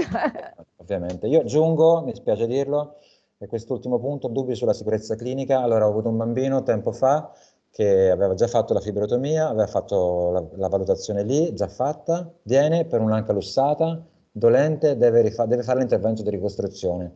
Andiamo a studiare il bambino, il bambino aveva eh, un deficit importante della coagulazione, tanto da dover necessitare di eh, farmaci no, per eh, proteggerlo in caso di intervento eh, sull'anca e questo questo bambino aveva fatto l'intervento di fibrotomia senza nessuna sicurezza, quindi cioè, questo rischiava di fare ematomi importanti a seguito dell'intervento senza nessuna protezione, quindi mi, mi, domando anche un pochettino, secondo me, il fatto che venga venduta con, in mascherina eh, velocemente, no? dei, dei hospital, non lo so, io fossi mio figlio qualche domanda in più me la farei, però capisco, capisco quello che, quello che Giusto. ci può stare. No, no, è, il nostro obiettivo oggi è fare chiarezza, eh, anche da questo punto di Poi vista. Ripeto, ripeto, magari tra qualche anno verrà fuori di più e cambierò idea, però adesso io la penso in questa maniera. Sì. Questa è una review francese, se volete ve l'andate a leggere, del 2018, dove in Francia hanno lo stesso problema nostro. Si ritrovano con famiglie con diffidenza nei confronti loro, che, dei chirurghi, diciamo, dei medici tradizionali che eh, diciamo, vanno a fare in, all'estero, di là vanno, di vanno a Barcellona dalla Francia a fare questo intervento, poi non si relazionano con i terapisti locali, eh, beh, insomma queste problematiche che, che, noi vediamo quotidianamente vengono riportate in altri stati, quindi questo è abbastanza significativo. È diventata una moda? Sì, è diventata una moda. Innanzitutto noi facevamo già, anche adesso ne facciamo chirurgia percutanea, cioè se io faccio un intervento di ricostruzione se faccio un intervento di, di crouch, una parte dell'intervento è una fibrotomia, cioè faccio parte dell'intervento per via percutanea, non è che tutti gli interventi devo per forza fare una cicatrice no? De, gigante. Perché... Allora, fibrotomia vuol dire tomia taglio, fibro taglio, taglio, taglio invece, che il, invece che il teno, teno è il tendine, tenotomia, fibrotomia taglio il, eh, la fibra, cioè l'aponeurosi, la fascia che è quel tessuto eh, fibroso a cui si attacca il muscolo sostanzialmente. No? E, ehm, allora, per esempio, una cosa che questa mi fa girare abbastanza le scatole, però ne parlerò con i colleghi. Sostanzialmente è uscito recentemente un lavoro perché si è visto che questa cosa piace, si è visto che questa cosa va di moda, e allora è stato fatto un lavoro, è stato fatto un, anche un sito italiano eh, dove si, si, si, sponsorizza questa cosa e viene fatto un lavoro scientifico che dice che queste cose vanno benissimo, eh, dove dicono Nessuna complicanza. Questi sono, parliamo di ortopedici, nessuna complicanza. Allora, pazienti di, questi, di, questo centro qui li ho visti, ho visto le complicanze, quindi già che tu mi dici non c'è nessuna complicanza, già un pochettino mi girano. Poi i risultati vengono valutati in termini di ROM, cioè di movimento. Dici che Tutti cos'è pazienti... quest'altra sigla che sentiamo sempre? L'acronimo sta per Range of Motion? Range of Motion, cioè praticamente arco di movimento. Quindi quanto muove il bambino? Quanto muove? Allora, che succede? Se il bambino è in equino e io gli faccio la fibrotomia o gli faccio l'allungamento d'Achille o gli faccio qualsiasi cosa, il bambino da essere in punta muoverà la caviglia, ok? Però non è che più muove la caviglia e meglio è. L'abbiamo imparato prima, no? La caviglia deve essere mossa il giusto, cioè la tensione del tricipite deve essere quella giusta. Quindi io non devo allungare più allungo, più il risultato è, me- no, è meglio il risultato. Credo che sia chiaro questo discorso. Sì. Non possiamo valutare un bambino gross motor 2 o 3, cioè un bambino che cammina in termini di ROM. Cioè stiamo tornando 30 anni indietro, se diciamo che è un buon risultato perché il bambino guadagna movimento. Siamo 30 anni indietro. Eppure questo lo leggiamo su Wikipedia, lo leggiamo su, su, su, riviste di serie C, insomma, capito? Quindi secondo me, io capisco che ci sia la volontà di, pubblic- di pubblicare, di attirare, però secondo me. Beh, però è anche importante che secondo me una famiglia oggi, eh, al di là appunto della volontà o meno di approfondire, perché poi invece su alcune famiglie basta una buona relazione con un medico di cui hai fiducia, per cui non hai neanche la necessità di approfondire. Però dall'altra parte ci sia anche la consapevolezza della validità delle fonti, che quindi se un uh, sito uh, o una review non è stata fatta basandosi su alcuni criteri, ecco, non, perché è scritto su Wikipedia non è il verbo sì, assoluto. Sì, si, fa, si, fa, fatica, si fa veramente fatica, perché ormai tutti quanti noi andiamo su Wikipedia la prima cosa che facciamo e si va sui siti e purtroppo si fa fatica a distinguere, cioè queste cose le distingo io. Che, che, che, sì, però dall'altra parte non, non, si può neanche criminalizzare internet, no? L'altro giorno un medico mi diceva dove l'ha letto? L'ha letto su internet. Beh, eh, trascorro la mia vita su internet, nel nel senso vivo, consulto esami, quindi eh, posso accedere a PubMed, posso fare qualsiasi cosa. Quindi il più credo sia nel eh, fare chiarezza fra quello che è un po' l'obiettivo del, dell'incontro che abbiamo fatto oggi e del tempo che ci è dedicato per capire in linea di massima, ecco, sicuramente non entriamo nell'approfondimento specifico che invece è quello che compete al medico e alla visita ambulatoriale, ma perlomeno districarsi un po' meglio fra anche la qualità delle fonti. Certo, sì, sì, perfettamente d'accordo. C'è del buono, sì, l'ho già detto, cioè, quindi io non butterei tutto quanto via, c'è del buono, cioè alcune applicazioni secondo me sono buone nei bambini gravi, sono alcuni bambini in cui sono talmente gravi che magari come dire, un rilasciamento ci può stare, nell'ambito di una procedura multilivello ci può stare, però insomma adesso non è non venduta come viene venduta in questo momento, semplicemente.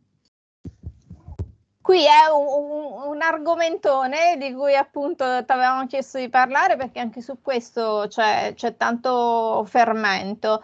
Uh, dici tu, Manuele, se preferisci appunto rimandare ad un'altra puntata, se vogliamo accennarlo adesso. Sì, ma io lo accennerei perché tanto anche perché diciamo che non me ne occupo direttamente, quindi magari possiamo fare un accenno, un accenno rapido. Assolutamente. Semplicemente, eh, anche se non si, magari la gente forse è un po' stanca, però forse la... la, la vai, vai, vai, che piuttosto noi ti, ti possiamo okay. seguire a capitoli, eh, quindi non c'è ah, problema. Perfetto, ok. No, niente, soltanto che cos'è la risotomia dorsale selettiva? Rientriamo nello schema di prima, nello schema di prima della, di cos'è la spasticità, eh, scusami, di come si gestisce la spasticità, la regiotomia si, si pone in quest'angolo, cioè parliamo di una procedura che è generale ed è permanente, cioè una volta fatta è definitiva. Allora che cosa si va a fare? Praticamente è una procedura neurochirurgica, non è una procedura ortopedica, quindi io non me ne occupo.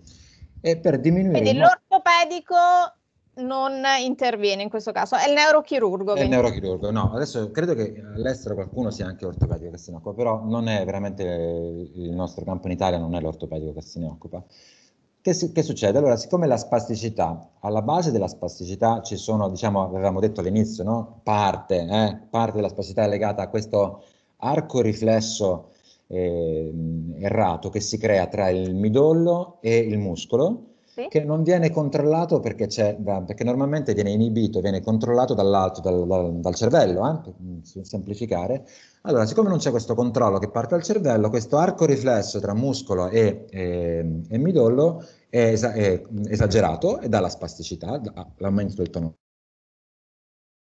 Aspetta che non ti abbiamo perso un attimo come connessione. Ti vedo congelato. Non so se magari è successo qualcosa, se... Allora, proviamo a togliere la proiezione, vediamo se ritorniamo. Eccoti. Mi senti? Ci senti? Vai, eccoti. Eh, mi spiace.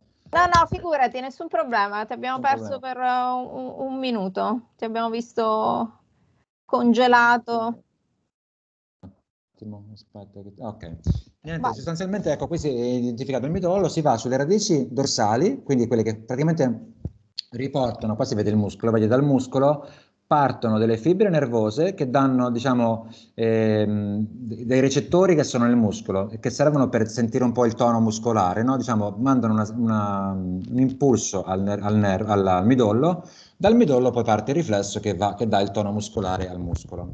Allora si va sulle radici dorsali, ed è per questo che si chiama dorsali, si tagliano le radici che, che, che danno quest'arco riflesso, quante se ne tagliano non è chiaro, per questo è un altro limite, cioè non c'è una linea guida che dica ne deve tagliare il 50%, il 30%, il 70%, e, e questo riduce la spasticità.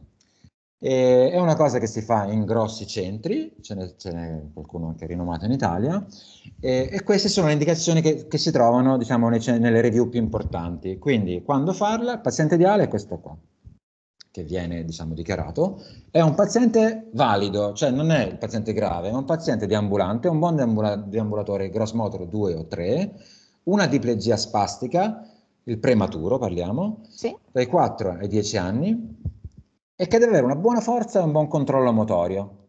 Perché? Perché Il rischio è che se invece è un paziente che è già scarso di suo, tu vai a togliere qualcosa, perché qui vai a togliere qualcosa, il rischio è che tu perdi quello che ha. Ok? Quindi le controversie, questa è una review di un autore molto importante del 2019, eh, mette un po' in discussione. Questa c'è molta controversia, ne ho messo un semaforo arancione, diciamo, c'è molta controversia tra chi lo spinge a dismisura e chi lo frena a dismisura, perché ancora c'è molta variabilità in termini di protocolli, del numero delle radici che devono essere tagliate, come scegliere quali radici tagliare, non è chiaro, e i lavori a distanza, come questa review, a distanza di 10 anni o più, non hanno riportato quello che si voleva eh, ottenere, cioè perché viene fatta questa cosa? Viene fatta per togliere spasticità, quindi qual è l'obiettivo finale? Evitare che diventi... Piedi. Sì, no, soprattutto evitare gli interventi ortopedici se vuoi, no? che, diventino, che diventino rigidità o deformità. E si è visto che poi a distanza in realtà fanno lo stesso numero di interventi ortopedici perché molti prendono ancora tossina o farmaci quindi la critica che viene fatta è che in realtà non, non, non hanno dimostrato quell'efficacia che si vuole. Ok, questa chiaramente poi in medicina siamo ancora su questa tecnica. Mi sento di dire che ancora forse, forse il semaforo può essere giallo, diciamo che ancora non, non mi sbilancerei ecco, su, su, su, questa cosa qua. Quindi c'è, probabilmente c'è del buono, però non è ancora chiaro dov'è il limite che va posto. La paura è sempre che chi fa questo dalla mattina alla sera cerca di allargare il campo il, il più possibile, si spinge in territori che, che a volte sono esagerati. Eh, penso che il punto principale sia questo della spasticità, cioè ehm, ci capita, ma l'ho già detto all'inizio, di vedere bambini in ambulatorio che sono spastici, ma che palesemente sono spastici per altri motivi bambino piccolo, spaventato, che entra in ambulatorio, a cui tu fai le scale di valutazione, no? queste Ashworth, per valutare la ehm, spasticità, se il bambino è stressato, è spaventato, eccetera, tu hai dei, delle scale molto aumentate, che magari se tu fai le stesse cose a casa, il bambino magari è più rilassato, si modificano anche queste cose qua nel corso della visita, il bambino, ehm, il bambino che ha paura, il bambino instabile, cioè tutte queste cose qua, mi è capitato di vedere bambini di questo tipo a cui era stata data indicazione a fare la rizotomia. E, a un bambino io semplicemente abbiamo messo un AFO, quindi un tutore, e i genitori anche dicevano la stessa cosa, ha messo il tutore, il bambino cammina, non ha più l'instabilità, no, de, de, la paura del vuoto, eccetera. Quindi vuol dire che non è un meccanismo riflesso eh, legato alla, al, midollo, è qualcosa di diverso, quindi è inutile che io vado a tagliare delle radici nervose. Mi sembra che il limite in questo momento sia del comprendere quando e come agire questo qua. È, interessante questo excursus fatto da te perché poi appunto avevamo già fatto un approfondimento in passato, sia con eh, Moretti e Pavanello al Gaslini, ma adesso anche sul Bambin Gesù a Roma operano in questa direzione, per cui secondo me anche eh, ci, ci, invita a rifare un approfondimento specifico proprio con, con, con un neurochirurgo. Ah, sì, sì.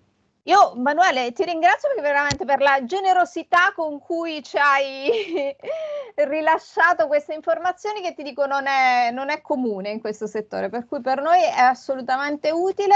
L'ultima domanda proprio in assoluto, prima di lasciarti, eh, specialmente in questi giorni si vedono tante notizie di cronaca su pazienti anche con uh, storie diverse dal, dalle nostre, quindi parlo Ehm, di, di, pazienti con traumi in età adulta che ritornano a camminare. E questo tipo di eh, comunicazione sui media, spesso generalisti, quindi interventi che sono stati fatti Uh, o sulle cellule staminali, oppure recentemente anche delle pubblicazioni in, in, Svizzera, a Basilea, su pazienti che tornano a camminare grazie a delle stimolazioni. Secondo te c'è qualcosa che nel campo delle eh, paralisi cerebrali infantili ci possa far prevedere un futuro che magari può essere un futuro eh, di, di, innovazione ma di impatto anche sulla qualità di vita di, di questi bambini?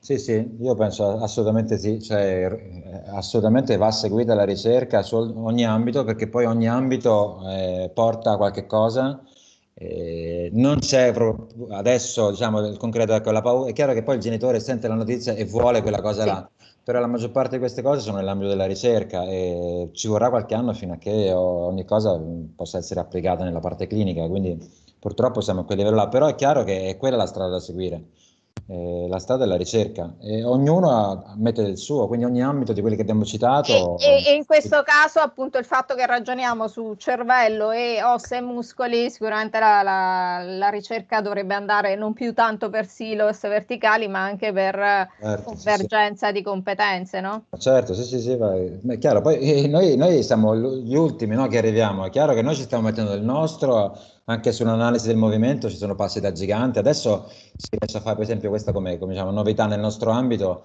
eh, ne parlavamo l'altro giorno, ci sono proprio, riescono a, mh, con l'analisi del movimento a fare dei modelli in cui riescono a capire ogni singolo muscolo come si comporta e a prevedere l'effetto post intervento. Questo è spettacolare, cioè ti, mi hanno fatto vedere un modello in cui allungavano gli ischiocrurali e ti diceva come andava a finire il risultato. E quindi però chissà, magari un giorno la, la chirurgia ortopedica neanche, neanche, servirà più, no? Se si risolvono altre problematiche, però sì, nel frattempo su ogni ramo secondo me si deve andare avanti. Vero, vero.